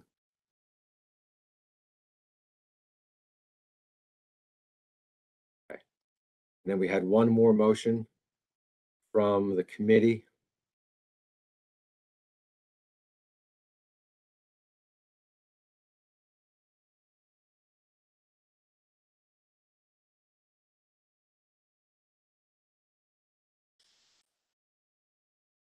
Sonny, can I ask you to read that on behalf of the committee to the council? Yes, Mr. Chair. I get, I got a bad echo. I move that council prioritize a framework to consider additional trip limit changes with work beginning after the completion of the research track assessment. Okay, thanks, Sonny. Um, so we have a motion on behalf of the committee. It does not require a second. And I will look to members of the council first for any comments that they'd like to make on behalf of this motion. Peter Hughes. Hey, thanks, Mr. Chairman. I, I have a question. Where, and I know it was only yesterday, and I'm trying to look it up now, the presentation, but where was, uh, where does this stand on the committees or on the council's prioritiz- prioritization list that we reviewed yesterday morning? I just, I, I mean, if this is already on the list, do we have to make this motion? Or is Well- it not on the list and we need to add it to the priorities list? Well, so I don't, maybe Chris can help me too a little bit with this, but I, I looked up the same thing you did, uh, or trying to look up. So under twenty-two proposed actions and deliverables from yesterday's executive committee meeting, uh, under spiny dogfish, there is, uh, a number thirty. The number thirty says develop twenty twenty-three through twenty twenty-three specifications. Um, so we will need to put forth specifications. Now, this, this is talking about the, um, prioritizing a framework, which is different from, from that. So it's not specifically listed, uh, here in the in the actions and deliverables for twenty twenty-two. Um, and it's not one of the issues in possible actions at this time. So this would be something that if this motion passes, uh, we would have to have a discussion as a council about where this falls and what might need to be given up in order to do this work. Um, but maybe Chris, I don't, I don't, is Chris Moore here with us this morning? I'm sure he is. Um, Of course I am. Of course I am, Mr. Chairman. Where else yeah, would I, I didn't see your name earlier, but yeah, what do you think about, was I, am I leading people astray or am I kind of on the right track about what we'd have to do here with this motion if, if it were to pass? Well, the, the, you, you said it, you said it right. Um, we, the key is that yesterday we had a meeting with the executive committee, not the council, right? So the executive Right. committees develop recommendations on twenty twenty-two uh, implementation, twenty twenty-two implementation plan for consideration by the council in December. And obviously, we haven't gotten to the council yet. So um, this would be- be done exactly the way that you just mentioned it. This would be something that we'd carry forward to our meeting in December and then decide how to uh, integrate it into that 2022 plan. Okay. But this, so if this motion were to pass, because it says prioritize, it doesn't necessarily bind us to having to put it into the plan, but put it into, this could, we'd have to prioritize this among other things. And it could fall to possible, possible additions. It could fall in with the under spiny dogfish. That, that would be the prioritization piece, right? Exactly. So, you know, we Okay. expect, yeah, so we expect there's other things that might happen between now and December, right? Right. And in fact, yesterday I mentioned that we were going to be having the spiny dogfish uh, discussion today. and There might be some changes to what we had on the page in front of folks yesterday as a result of the meeting today. So this would be, this would be a good example of that. So Yeah, we'll perfect. bundle, it- yeah, so we'll bundle it all up for council consideration in December and then decide how to deal with it then. Excellent. Okay. Jason, did you want to add?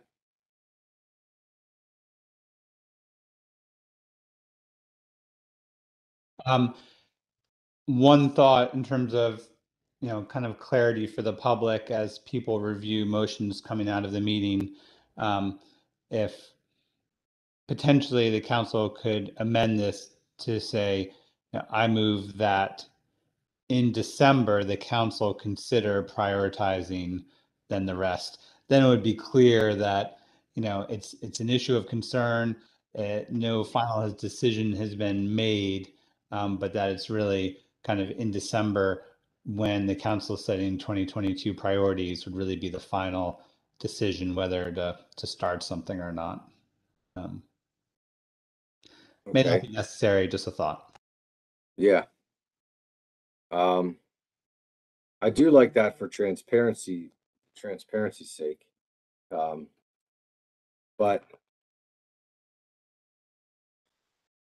that does, well, it's gonna be on our, we're gonna, we're gonna announce that, that discussion on, you know, we, we plan for it in December to finalize our, our, um, implementation plan, so I don't know that we need to jump through the hoops to put that detail into this motion, especially since it came from committee. It's not like we're, I mean, I'm, I'm comfortable with it, with it the way it is. I, I- let me ask others and see what they think.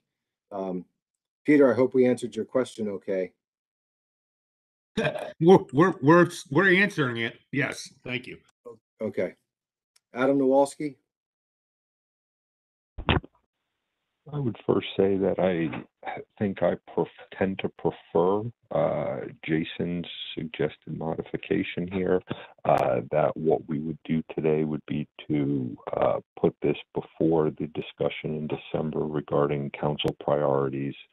Uh, depending on the timeline for the research track assessment, uh, this might not actually be in action until 2023, so it might not even need to be a 2022 action. Uh, which leads me to my next point is that, you know, given the discussion today, uh, we did go ahead and move the trip limit. There were some concerns that were put on the record about that. Uh, I suspect the intention of this framework would be to consider, uh, while this says additional trip limit changes, so I think there would be discussion about bumping the trip limit back down potentially. Uh, I think the discussion is pretty clear that the nature of this framework would be to consider additional increases. Uh, so I am wondering if this might be premature. Uh, and I would look for some guidance here as to if there is other sentiment about this motion being premature. Uh, would a direction be that this motion would be better to be defeated here, or would leadership uh, recommend a motion to um, postpone this until after the research track assessment? And I think that's where my level of comfortability lies right now, uh, is that the idea of a trip limit change consideration through framework sounds like a good idea, but I think it's really going to depend on what we learn out of that research track assessment. I think we're going to need to have that in front of us. Uh, I think there was a clear support around the table for the increase, but at an incremental level that we discussed today. So maybe this might be a little premature here. I think the committee did a good job of bringing before us, um, but I think I would lean towards actually towards not taking action on whether we need to initiate that framework until after I see that assessment. I'm wondering if your thoughts are whether that's best to be through motion to postpone or to vote this down. Well, so, so Adam, I, I look at it a little differently. Um, in this case here with this motion, we are not initiating any framework in any way. We are just, con- we are prioritizing the possible framework after the research track assessment. So, you know, we could put this in possible additions to twenty twenty-two. It could be, it could hold off, we could hold off on any type of initiation of a framework action until twenty twenty-three. Um, you know, we, nothing, nothing will happen until we get the information from uh, the re, the, the research track assessment um, later this, later next year. And so I see it as, you know, making an announcement to the public through our implementation plan that this is something that the council's considering. And in December, um, we'll have to decide how important it is to put it on our twenty, either put it on our twenty twenty-two implementation plan as something we, we intend to complete or as something that we may take on if time allows and, and, you know, depending on the, depending on how that, that assessment comes out, we may ultimately decide not to do the framework. Uh, there is no initiation here, which is, I think, good wording as far as prioritize rather than initiate. So, I mean, I'm comf- I'm comfortable not, I don't, I don't think there's a reason to postpone this. Uh, you certainly don't need to vote in favor of it. But I think by, by moving this forward, we're telling the public that this is something that the council is going to consider in its priority settings. So I'm, I'm comfortable with the way it is right now. Um, and I don't, I'm not necessarily sure that we need to add the extra words, but if somebody wants to add in December uh, move that in December twenty twenty-one, the count, I'm, I'm, I'm happy if somebody wants to make that amendment. Um, we'll certainly, we'll certainly discuss it, but I'm, I'm comfortable with the way it is now, but you know, you guys, I'll look to you to see if anybody wants to make that change. Kate Wilke, I've got your hand up. Thank you, Mr. Chair. I guess the, the word prioritize um, gives me a bit of, confuses me a little bit here. Um, and I just want to clarify that in voting for this motion, it just means that we would then talk about it during the discussion of the council's implementation plan? Is That's that correct. right? Okay, so it's correct. not necessarily saying that, that voting yes for this means that it's on the list as, as a definite action we're gonna pursue. Right, because if you remember from yesterday, in the discussions that we had, we, there's a draft implementation plan already put forth. And making adjustments to that implementation plan and moving things up into the species category requires there to be some give and take. And there may not be anything to give and take at this point. And so we, that, that's where the priority setting comes in do we feel that this is more important than other things on the list? Um, and so if we feel it's important, but it doesn't need to rise to the level of being something that we intend to complete, then we can put it in as possible, possible, uh, what's it called, possible additions section and see where that leads, you know, through the year. So there's a number of different ways that this type of concept can be put into the, to the plan. Or, you know, even if this motion were to pass, the council can discuss this as far as implementation goes for twenty twenty-two and decide not to add it. Um, they could say it's a low priority, we already have a lot on our plate, and let's postpone this, uh, and we'll reconsider it for the twenty twenty-three implementation plan. You know, that's all, all of that is, is, those are all different options that can happen as a result of, of supporting this. I hope that helps eh, with your question. Yeah, thanks, Mike. Jason, did you have something you wanted to add?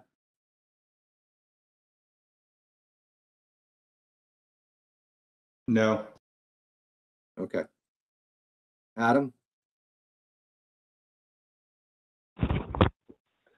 So based on that discussion, I, I think my preference would be to make this crystal clear to everyone around the table and, and the public with this motion.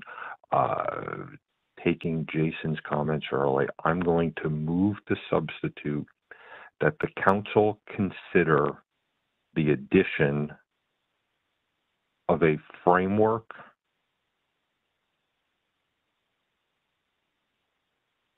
I'm just waiting for everybody to catch up here.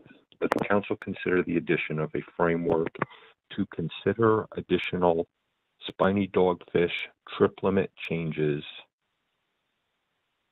to the 2022 implementation plan in December.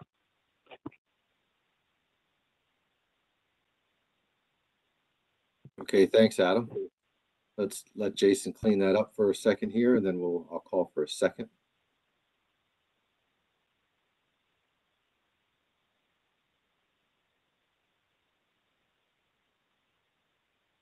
Okay, that's very clear in my opinion. Um, it sets the stage for the December meeting. It also, um, sets the stage for the consideration of an, adding a framework to the work plan for twenty twenty-two. So, uh, we have a motion on the board right now made by Adam Nowalsky. Is there a second to that motion? Would anyone like to second that motion? Uh, Peter Hughes is going to second. Adam, you've, you've spoken to your thoughts. I'll, I'll give you one, another opportunity if you'd like to provide more rationale, if you feel it's, it's necessary. I do not feel it's necessary, but thank you for the opportunity. Okay. Peter Hughes, did you want to add any thoughts on rationale why you support, uh, the motion? I, I don't, I just didn't realize that my question was gonna spark this much, um, deliberations. Thanks. No, it's, it's, it's all good. You're, it's, it's okay. This is why we're here. Um, We want to make sure things are right. We want to make sure things are clear, especially to the public and, and to, you know, members of the council who, um, we want to make sure everybody's got, got their, uh, head screwed on right and understands exactly what's happening here. So that's, that's, we take all the time we need. Dan Farnham. Uh, Yep, thank you, Mr. Chairman. I'm, um, I don't know if I'm gonna be able to support the substitute here. Uh, you know, at a committee level, I think it was pretty clear that that the thought was to consider trip limit changes after the track assessment was completed and analyzed and ready for management consideration, you know? And honestly, I, I didn't even think we would even get that far in 2022. 22 is right around the corner. In my mind, I, I, I wouldn't, I, I kind of thought this framework, once it got through both councils' considerations, wouldn't even be started until 2023. Thank you. Yeah, okay, thank you. So let me ask you, Adam, um, was it your intent not to include the, uh, research track assessment as a, as a trigger point for this framework to be considered in this motion? I think we would have that discussion in December. Uh, I would hope that this discussion would provide staff with the ability to bring to us, uh, clear updates, uh, in December as to what that timeline's going to look like, what we can specifically expect. And I think we can have that discussion then. Uh, I think if the discussion is that the track assessment is not going to be uh, accepted for management use through both councils by the end of 2022, then I think it would make it very clear. Uh, the council could put this concept of adding this somewhere in the hopper. Uh, I'm sure Dr. Moore would do a great job of bringing it up uh, next uh, October uh, when we talk about council priorities for 2023 as a possible addition at that point. If we're thinking that this might wind up uh, on the plan with some work started in 2022 because of the timeline for the research track assessment, uh, then I think this would be a great candidate to the possible additions list in December. Wouldn't require that we move anything else off at that time, uh, but at least we'd have a placeholder for it. Uh, and if we were confident that we would be ready to potentially act on this as a result of the completion of the assessment in 2022, then that would put us in a position to have an informed discussion about what else we might want to uh, bump off a list to prioritize this when we discuss that implementation plan. So uh, I think uh, Mr. Farnham's comments are, are, are spot on. Uh, and I think that we can have that discussion about where this specifically fits at the December meeting with a little more information. Okay. All right, thanks, Adam. Uh, Anyone else from the council have anything they want to offer to the motion to substitute? Mike Pentony? Thanks, Mr. Chairman. Uh, I just wanted to note that, you know, for a framework adjustment to move forward, it would require adoption by both councils. Um, I don't believe the New England Council has uh, a framework such as this uh, on their potential prioritization list for 2022. Uh, maybe uh, Chairman Reid could speak to that, but I believe that for this to move forward as a joint framework next year, would have to be on the priority lists for both councils. Uh, I'm not saying that this motion should be defeated because of that, but it, it may, um, suggest maybe a letter to the New England Council or something if this motion passes, just to be aware. Okay. Okay, thanks, Mike. Eric Reid?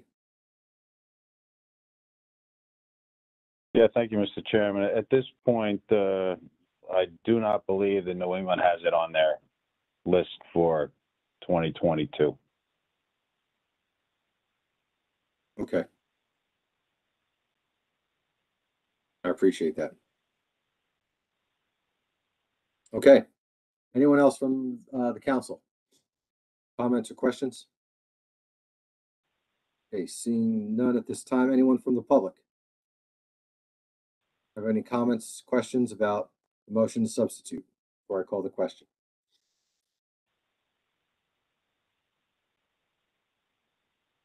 Okay, seeing none at this time, I'm going to go ahead and read the motion into the record, and then I'm going to call the question of the council. I move that the council consider the addition of a framework to consider additional spiny dogfish trip limit changes to the 2022 implementation plan in December. Motion by Adam Nowalsky, seconded by Peter Hughes. All those in favor of the motion, please indicate by raising your hand.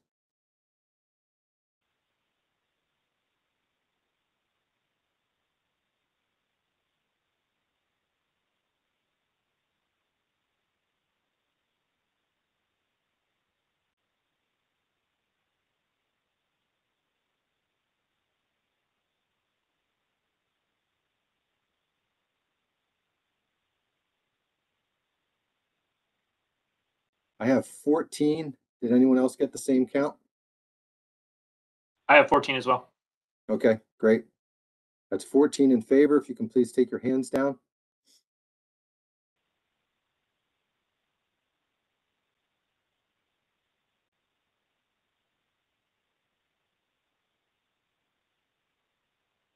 Okay, thank you. All those opposed, same sign.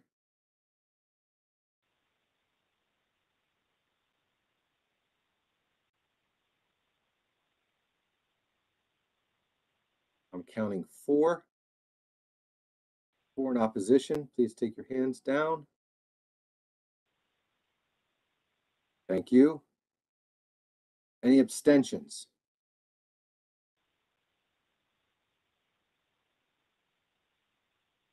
Okay, I have one abstention. Okay, so with a call of 14 to 4 to 1, motion carries now becomes the main motion.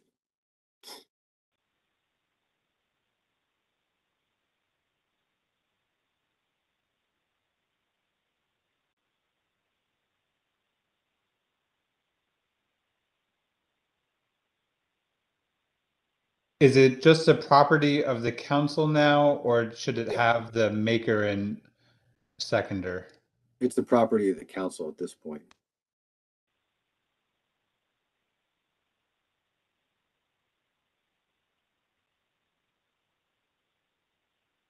Okay. I'm not going to read it back into the record, uh, but I will ask one last time, are there any comments or on behalf of the council on this motion that was just supported?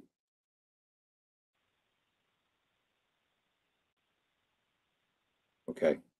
Uh, all those in favor of the now, the now, the main motion, um, please indicate by raising your hand.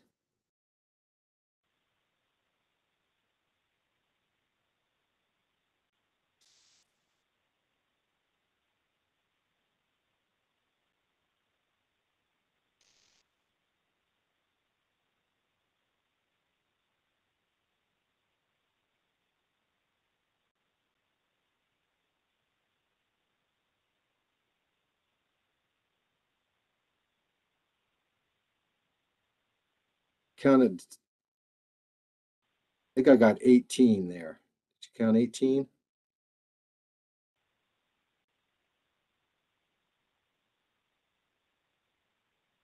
Yep, I have 18 as well. Okay, so that's eighteen in favor.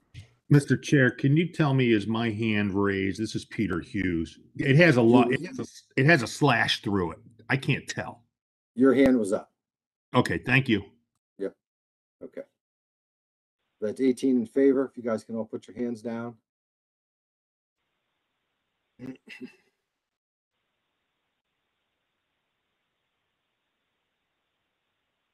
Maureen and Ellen, your hand. Okay, perfect. Thank you. Uh, all those opposed?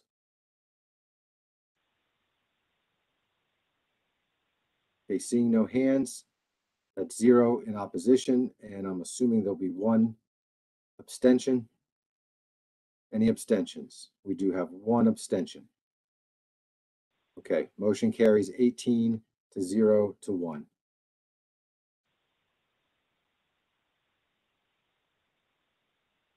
Jason, is there anything else that we need to take on under spiny dogfish specifications review today?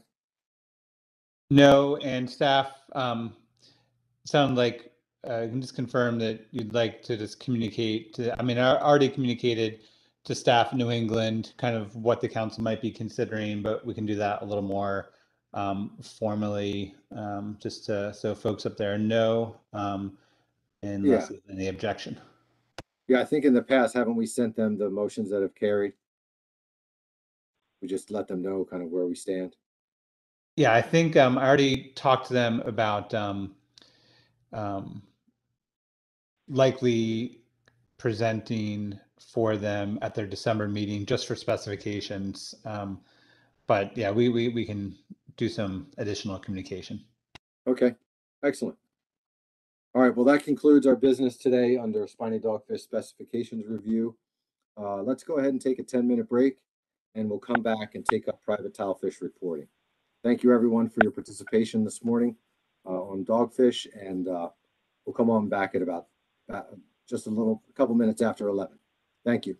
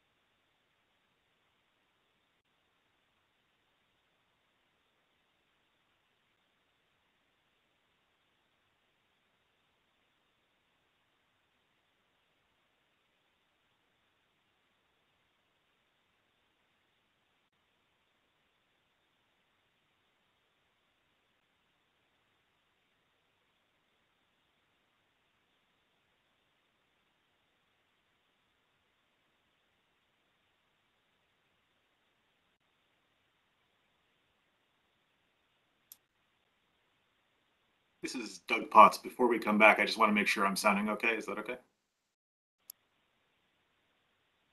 Yep, you're good, Doug.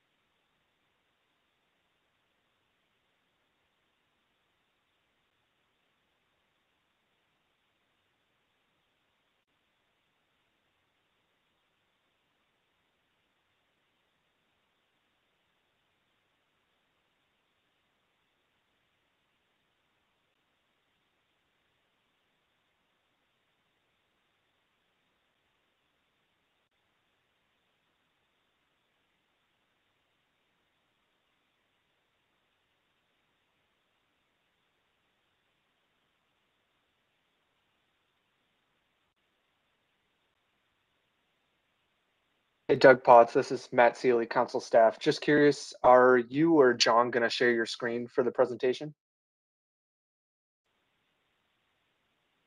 I think John is. Yeah, I can share my screen. Okay, John, you're all set. Good to go with that? Mhm. Okay, thank you very much. Hey, Matt, this is Jason. Um, sorry to jump in. I just wanted to flag, um, uh, folks sent me spiny dogfish trip limits. Maryland and Delaware are ten thousand pounds uh, for their state limits. I may have said twelve thousand for Maryland. Just wanted to uh, clarify that. So thanks. Bye.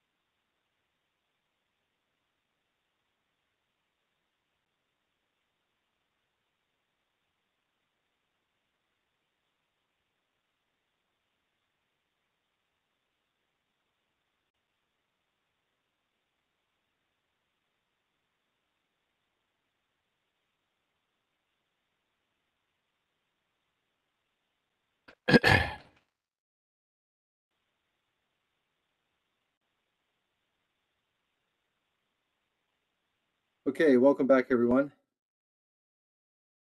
Got a nice little break. Uh, we have one more item on our agenda here this morning. Um, we're going to talk about the private tilefish reporting, and we have Matt Seeley with us on this, as well as Doug Potts. Doug, are you are you ready to go on this one? Uh, I think so, but I, I think John is going to take uh, the lead on at least most of the talk. Oh, okay. And I'll, I'll sum up at the end, but thank you. Yes. Yeah, no, it just uh, I just popped up on my screen. So John Sullivan's here with us as well. Uh, welcome, John. Welcome, Doug. And uh, whenever you guys are ready to get started, uh, you may begin.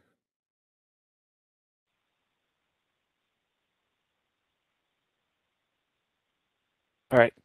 Thank you, Mr. Moderator. Can you guys all see my screen? Do I have that up there? Your desktop, you the Yeah, you see your desktop. We- The presentation was on. It Yeah. popped up for like a quick I was trying to second. unmute There myself and I minimized it. All right. Does that work? There it is. You're good. Thank you. Sorry about that. Uh, Thank you, Mr. Chairman. Uh, my name is John Sullivan. I'm with the Analysis and Program Support Division up at GARFO, and we're going to give you a, a brief overview of the recreational tilefish permit program. Uh, so the GARFO started issuing recreational tilefish permits in August of 2020. Uh, to date, we have issued 814 unique vessels recreational tilefish permits. 68 of those vessels also hold uh, another permit issued by GARFO, uh, as well as the recreational tilefish permit, uh, which means that's about 750 of those vessels only hold rec fish permits from GARFO. Uh, and to date, a total of 42 EVTRs have been submitted by 25 vessels for recreational trips, landing, or discarding tilefish. Uh, this slide is just a breakdown of the number of permits issued uh, for recreational tilefish by state, uh, as well as the number of uh, permit holders with other permits in addition to the recreational recreational tilefish permit, uh, broken down also by the number of who hold who hold party charter permits, some sort of commercial or international permits, uh, and multi-species permits. Uh, and from what we see here, there's not really a trend. The the states that have the most recreational tilefish permits also have the most vessels with additional permits, uh, but there's not really. Uh, I mean, most most the states with the most tilefish permits have the most others, but most vessels that hold a recreational tilefish permit uh, only hold a recreational tilefish permit. The next slide is just kind of a zoom in on the states that have the most of these permits. Uh, you can see it's they're really kind of concentrated in the Mid-Atlantic from New York down to Virginia. Uh, this is just a list of the other permits that some of these vessels that have recreational tilefish permits also hold.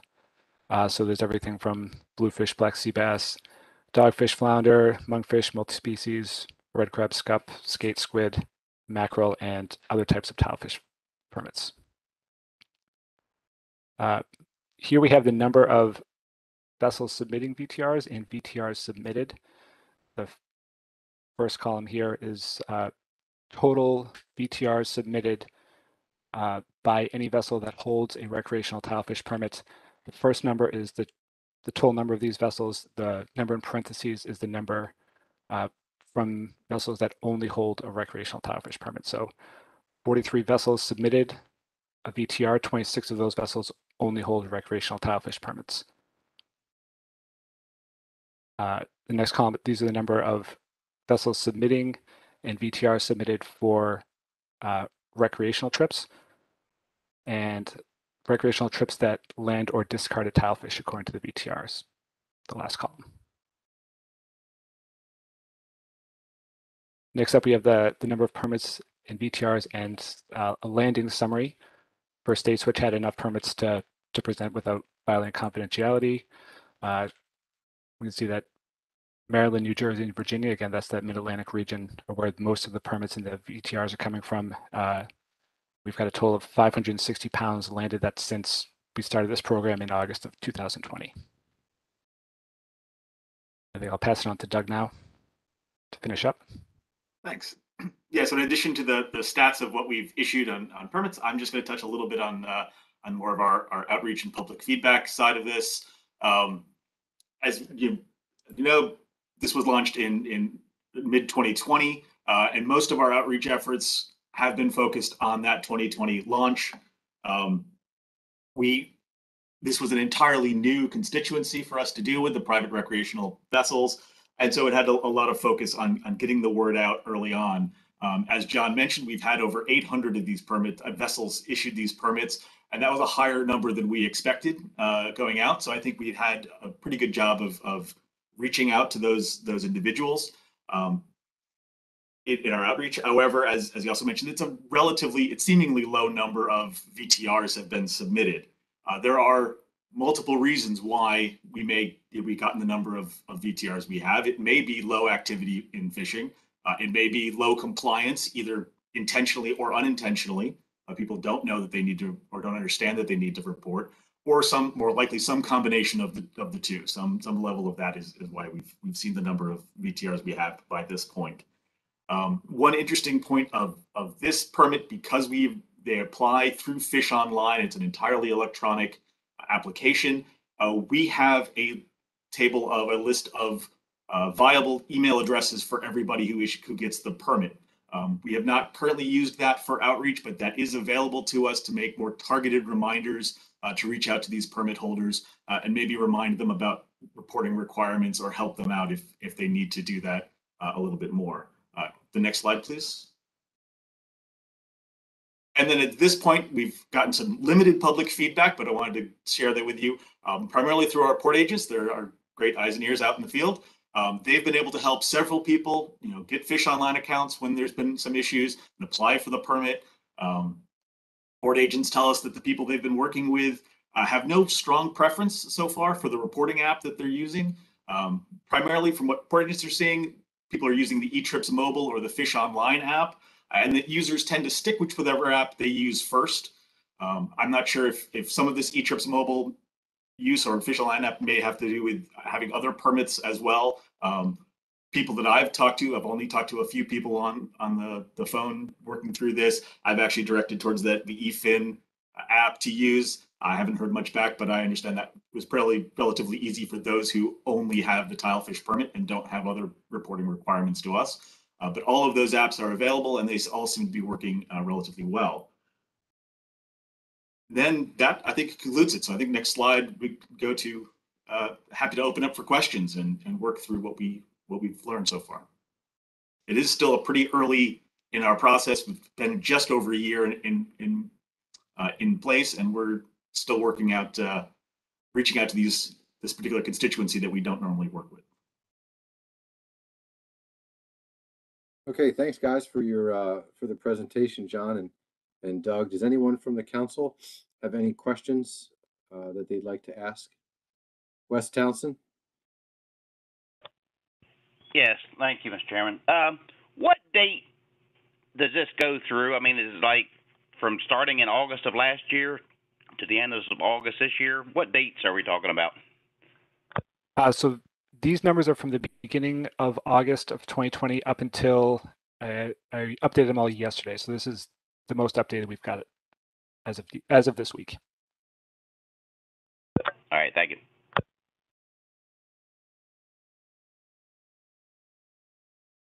Thanks for that. Uh, Chris Batsavage, you're next.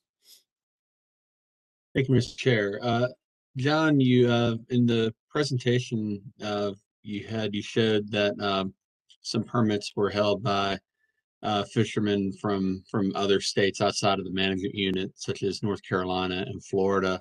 Um, and then you also showed, uh, kind of a breakdown of, you know, where the reported VTRs came from by state. And then you had an other category to kind of cover maybe some confidentiality issues. Um, are you in the for the other category? Um, are you able to say, uh, due to confidentiality reasons, if any of those reported trips came from outside of the management unit, you know, from North Carolina South? I'm just wondering if there might be some confusion, um, you know, from some fishermen in the South Atlantic region thinking that they need this permit and they're reporting um, when when when they don't. Thanks.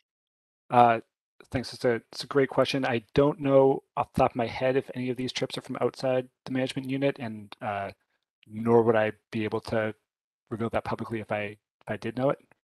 But it, that's a great suggestion about reaching out to maybe somebody from outside the management unit if if that's the case with these other permits.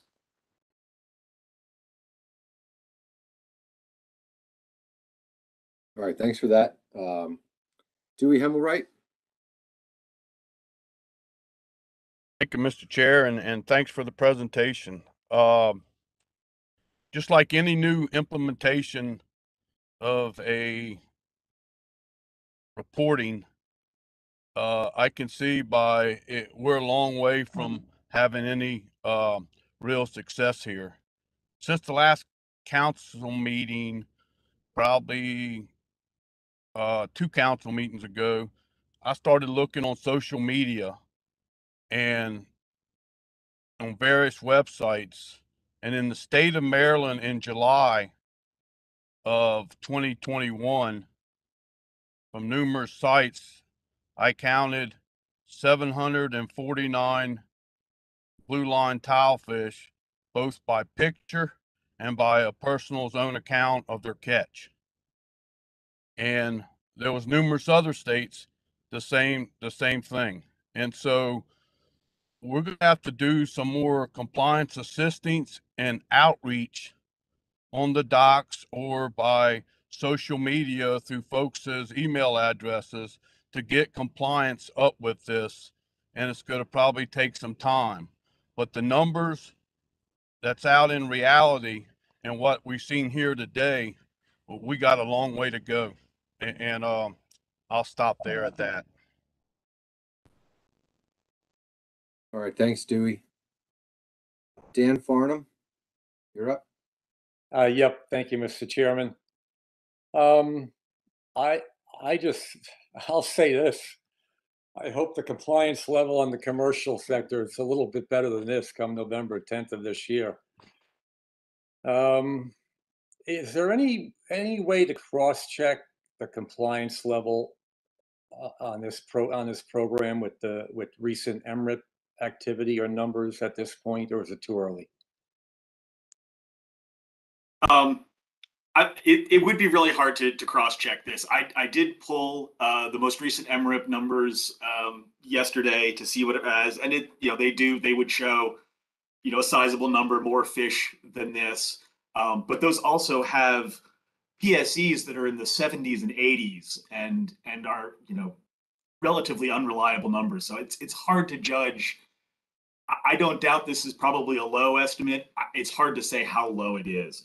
Um, interestingly, at least, you know, a good thing maybe is that the MRIP numbers show landings primarily in Maryland and Virginia, and our reports primarily come from Maryland and Virginia. So at least there's some consistency in, in where that activity is happening. Um, but again, this the scale could be an issue, and MRIP numbers have those those high PSEs, unfortunately.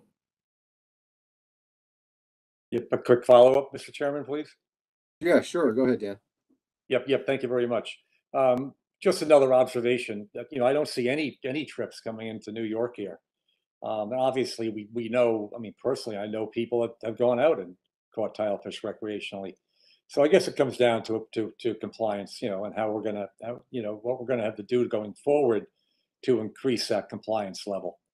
Um, very good. Thanks for the report, though. I appreciate it. Thank you. All right, thanks, Dan. Uh, Kate Wilke. Thank you, Mr. Chair, and, and thank you for the presentation. This is a really important program, uh, attempting to get a better handle on private vessel reporting, especially in light of all the discussion and ongoing council action and staff effort that's being put into changes to recreational management for other species. So, um, I, I was curious, um, if, if there is a plan to uh, is there is there any penalty for not reporting? And is there any encouragement that that the program offers once the the license holders have to renew their license? Is that an do they renew their permits on an annual basis? And if so is there any box that they check that says yes i reported last year or i did not fish last year just thinking of of, ways to encourage better compliance Uh, the permit is renewed each year. It is, it's an annual per, uh, permit like all of our others. Um, there is not a, you know, a check at the time of, of renewal, um, asking about missed reports or others, because we don't have a, a way of, of verifying whether or not a report is missed or not. Um, although I would not, I don't think we would look for did not fish reports, that kind of thing. Those, those have other issues and problems with them. Um, but I think you're right. There is there is the opportunity for additional outreach and try to raise education on on making sure people who report, I mean, who need to should report, do report. Yeah, I just I think it would go a long way and when they renew the permit to if there was some indication on that that renewal that this is an important part of the program and and and they should be reporting. Thank you. Yes, uh, yeah, I agree. And and that, you, you did also mention enforcement, and I wanted to, to mention on that there isn't a specific enforcement, you know, um, penalty associated with this one that's different than other fisheries. So it would be it would fall under the general category of of you know a non-reporting that um, for, for enforcement issues. And, and if there is, if, if it was knows of non-compliance, uh, you know, there are mechanisms to, uh, report or to, to make, to, to notify OLE or others to, if, if they believe there is non-compliance, that could then lead to, you know, outreach, education, uh, and or enforcement if, if that's warranted, but those are the same mechanism we have for all other permits. All right, thanks for the question. Uh, thanks for the comment. Scott Lenox, I have you up next. Uh, thank you, Mr. Chairman. And guys, thanks for uh, a great presentation there. Quick question. Um, we, we have intercept surveys here in Maryland where they intercept for sea bass and flounder and that sort of thing. Are, are any, are there any intercept surveys that come across either blue line or golden tilefish um, that aren't counted in these E EVTR numbers? Uh, probably. I'm, I'm not, I'm not familiar with the, I think the intercepts are probably part of the MRIP uh, survey or go into that data. I don't think we, we pull them into this. John, did you have anything additional to say? No, I think th- this is just from what's reported through the E EVTRs. If there's additional surveys or intercepts, then they wouldn't be included in this, but I'm not sure if there are, if those programs or those, if those intercepts exist for tilefish. A quick follow-up, Mr. Chairman? Yeah, go ahead, Scott. Yeah, I just I'm curious on that, guys. Thank you because uh, Dewey's right. I agree with Dewey 100. percent And my site might be one of the sites that he's actually referring to. Um, I, I report on recreational and um, charter fishing in Ocean City, and every July when tuna fishing slows down is when the blue line and golden tile fishing picks up. These guys are basically saving their days because the tuna fishing gets pretty slow when that water warms up. And in order to make the charter happier to catch something for their recreational trip, they go deep dropping, and that's when they catch these tile fish. And I'm certain that some of it is just they that the fact that they don't know that sometimes they even have to have the permit, much less report on it. Um, so I'm putting them in my report pretty much daily basis throughout July. And I think outreach to them would be really beneficial. Um, and I was just gonna I was just checking on the intercept thing because these numbers are really, really low. Um, but I personally would trust an extrapolation on these numbers and any EVTRs we have submitted than I would over any MRIP extrapolation. Thanks very much. Yeah, thanks, Scott. And to your, to your point about the intercepts, you know, that's part of our APAIS program, which is one piece of the, of the, of the MRIP estimation procedure. And so the intercepts aren't designed to select for certain species. They're designed to capture a snapshot of what's happening on a given day at a given time at a given place. Um, the tilefish are what we consider rare encounters during that survey. They see a lot more stripers and a lot more flounder and sea bass and tog and other things, but um, which is why the estimates that come out of MRIP on on blue line and golden tilefish uh, can often be quite skewed just because they're ra- they're rarely encountered by our intercept team. So um, just just to give you a little background on on how that works, and that's not just in Maryland. That's up and down the East Coast. Um, you know, each state has the APAIS program that they operate, uh, you know, throughout this through the state. So we can talk about it later sometime if you have additional questions about about that program. You know, just give me a shout, and I'll be happy to talk to you about it. Appreciate that, Mike. Thank you. Yeah, thanks, Scott. All right, Dewey, I have your hand up again. I I just want to make one clarification uh, on the number I gave for Maryland. Uh, that was uh, in amount of fish. It wasn't in pounds. And, and what I see here on the landing site, I guess, has been transformed transformed into pounds. But but I would agree with Scott uh, that that w- we need more compliance assistance and educational outreach for folks to know because the fish are getting caught but it, it doesn't seem like in one year's time that there's been enough outreach or compliance assistance to help these numbers. I, I would have thought it would have be a little bit, uh, well, a lot better, but but still a ways to go. Thank you. All right, thanks, Dewey. Matt Seeley, your hand up. Do you have something you want to offer? Yeah, thanks, Mr. Chairman. Just wanted to chime in here. Um, so I think, you know, Dewey and Scott have kind of hit the nail on the head here with this initiative and what's kind of needed in certain aspects. One thing that I did want to note though, um, obviously still compliance issues and things going on here. Uh, but for example, the blue line tilefish recreational season runs through May 1st through October 31st. So since this went live in August of 2020, um, and it's still not even the close of the season this year, we still haven't gone through a full cycle of a blue line tilefish recreational season. So something to think about as we're continuing to move forward with our outreach efforts, those sorts of things. Um, but towards GARFO, I'm curious if you guys have any, you know, direct plans on out, education and outreach moving forward, kind of like Dewey was hitting on. And one of the things I'm specifically interested in, um, we say that we have the emails from all of the permitted vessels. I think that's kind of like the honeypot here.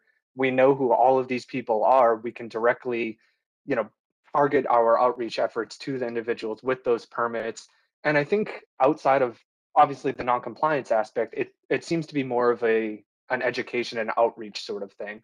We have a lot of resources on the council webpage, but I think reaching out to those individuals directly would probably um, you know be a productive way to try to move forward so just curious if you have any plans on that that you know the council and staff could work on uh, with you guys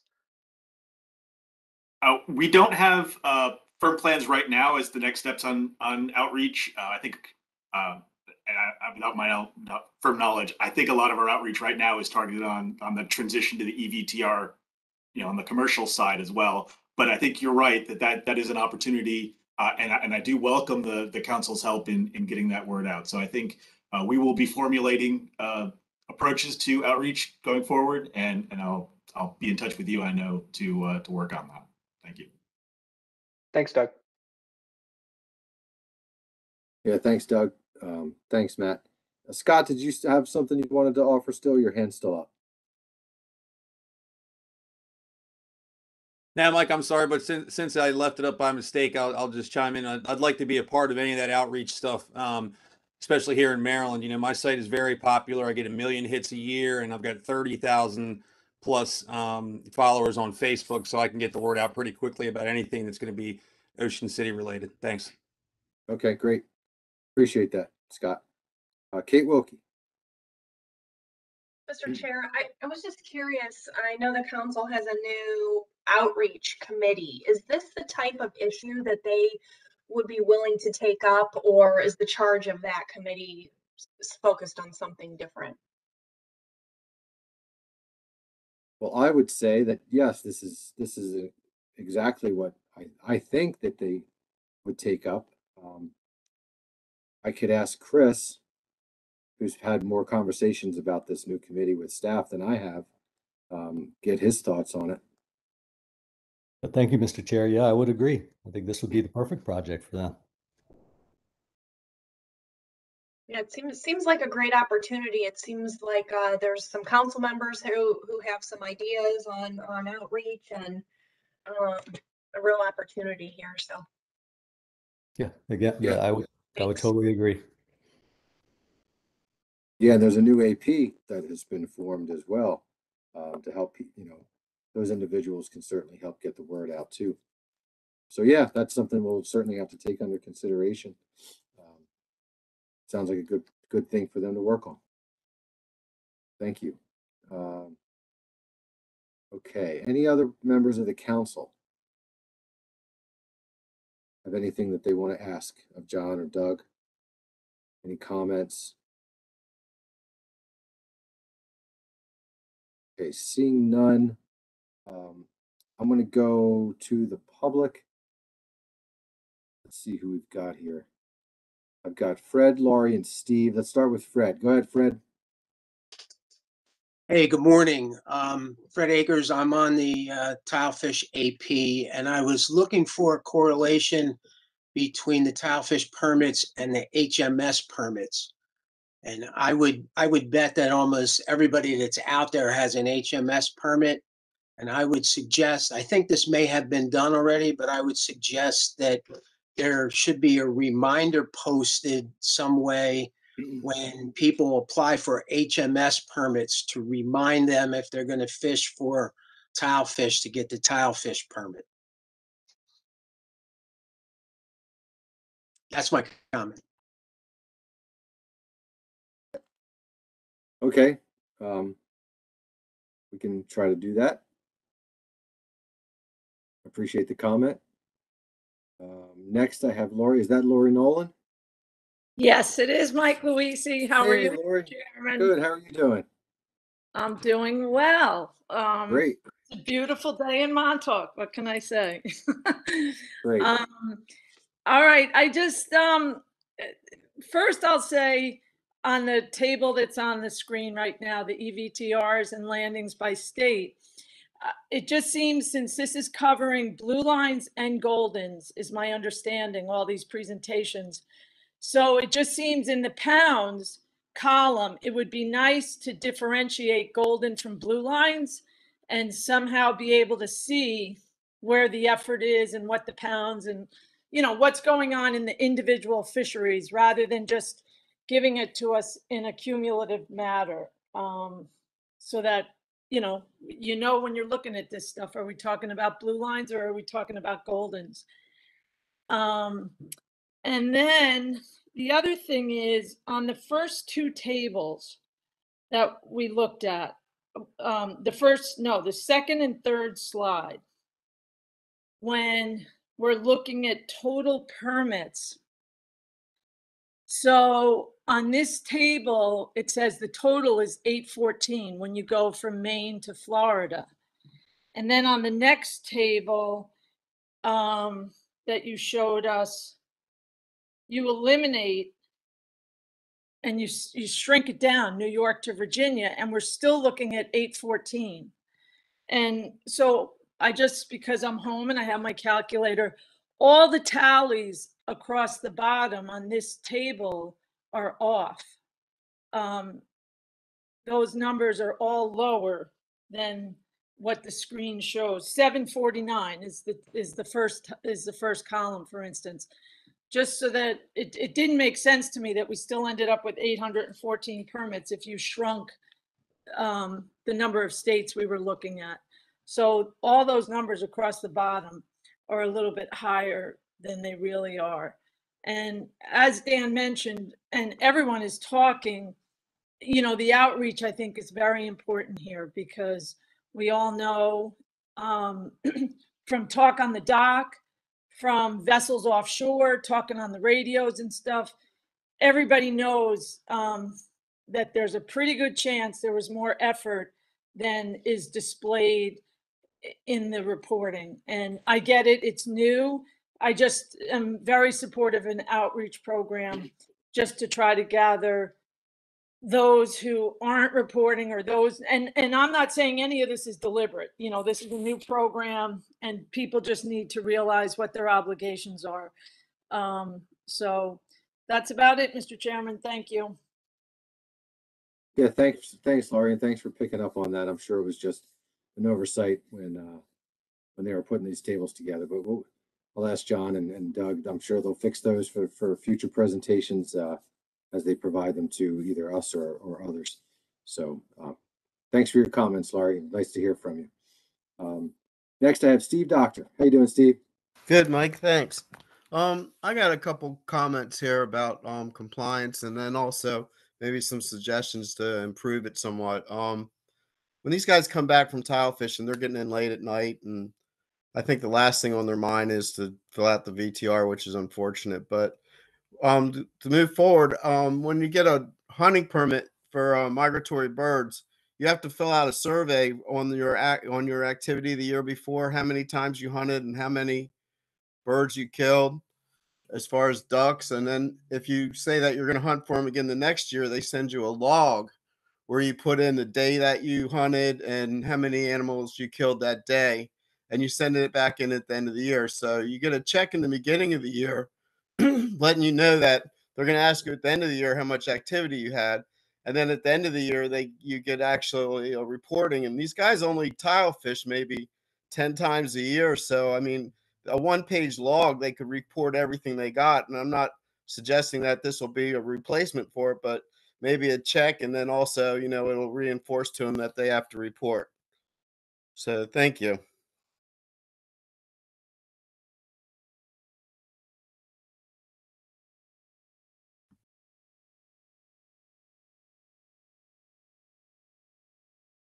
Mike, I think you're muted.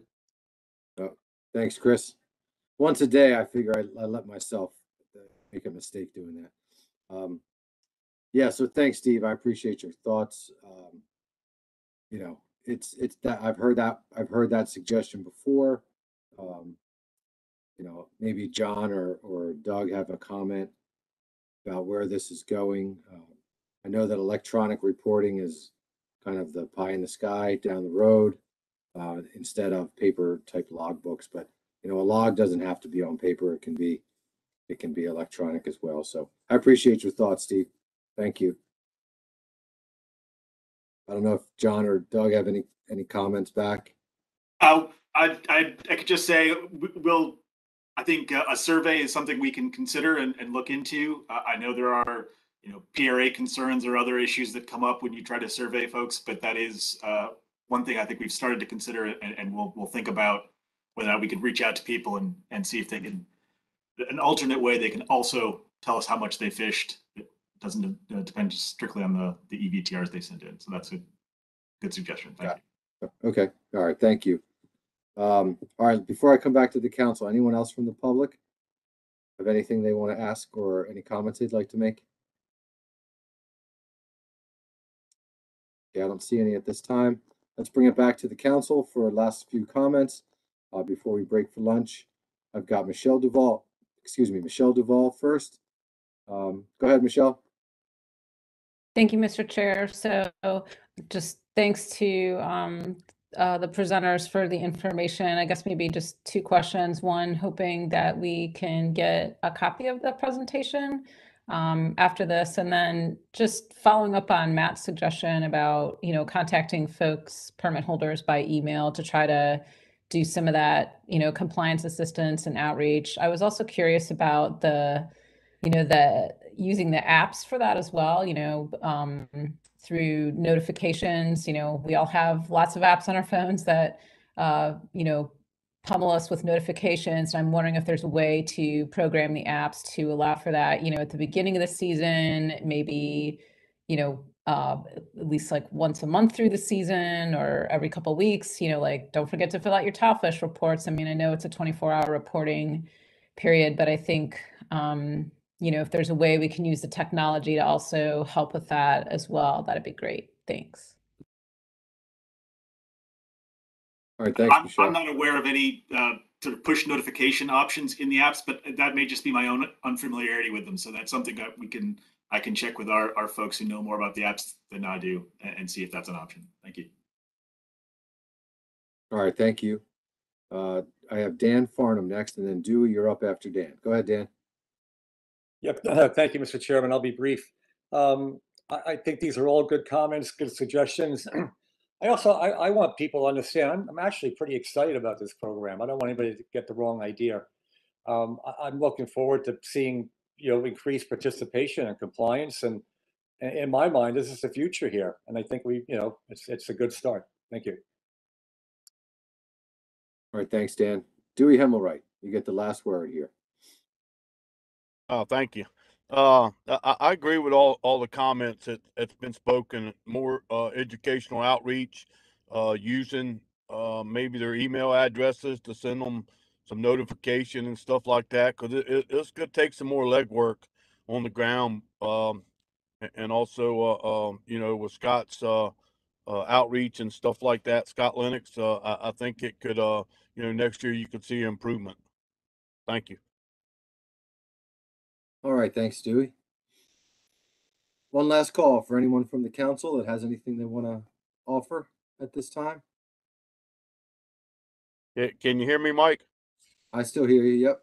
Yep, yep. I also like to uh say that it it is uh sunny and 50 degrees in uh Aaron, Saskatchewan.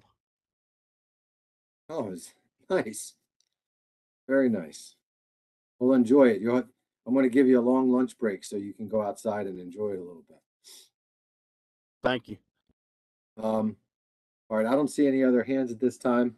Uh, John and Doug, thanks so much for being here with us today to provide us the information that you did. Um, there definitely was a, a lot of interest in uh, in your presentation and coming up with some ideas for how to get this word out.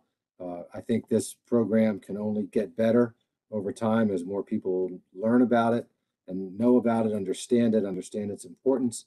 And, you know, that falls on all of us uh, in the outreach effort to, uh, to make sure people um, are compliant and uh, with the, with the rules. And, you know, I just see this becoming bigger and bigger, uh, providing better and better information for us as managers uh, as we move down the, down the road. So um, thanks again for being here. Um, we look forward to the next time when we get an update from you guys. And uh, we'll continue to stay in touch and work with you um, on how we can better the survey or how we can better the, uh, the information collected uh, through the tile fish permit. So again, thanks. Um, we're going to go ahead and break now. We, our afternoon session starts out with Colleen and Marissa. Um, and we're going to give us a presentation on the North Atlantic right whales. And uh, I don't want to try to cut, I don't want to try to get back on too early because they're planning a one o'clock presentation. So let's go ahead and take a little longer lunch. Um, we'll break until one o'clock and we'll pick up uh, with Colleen and Marissa on right whale. So see you back here at one o'clock. Thanks, everyone.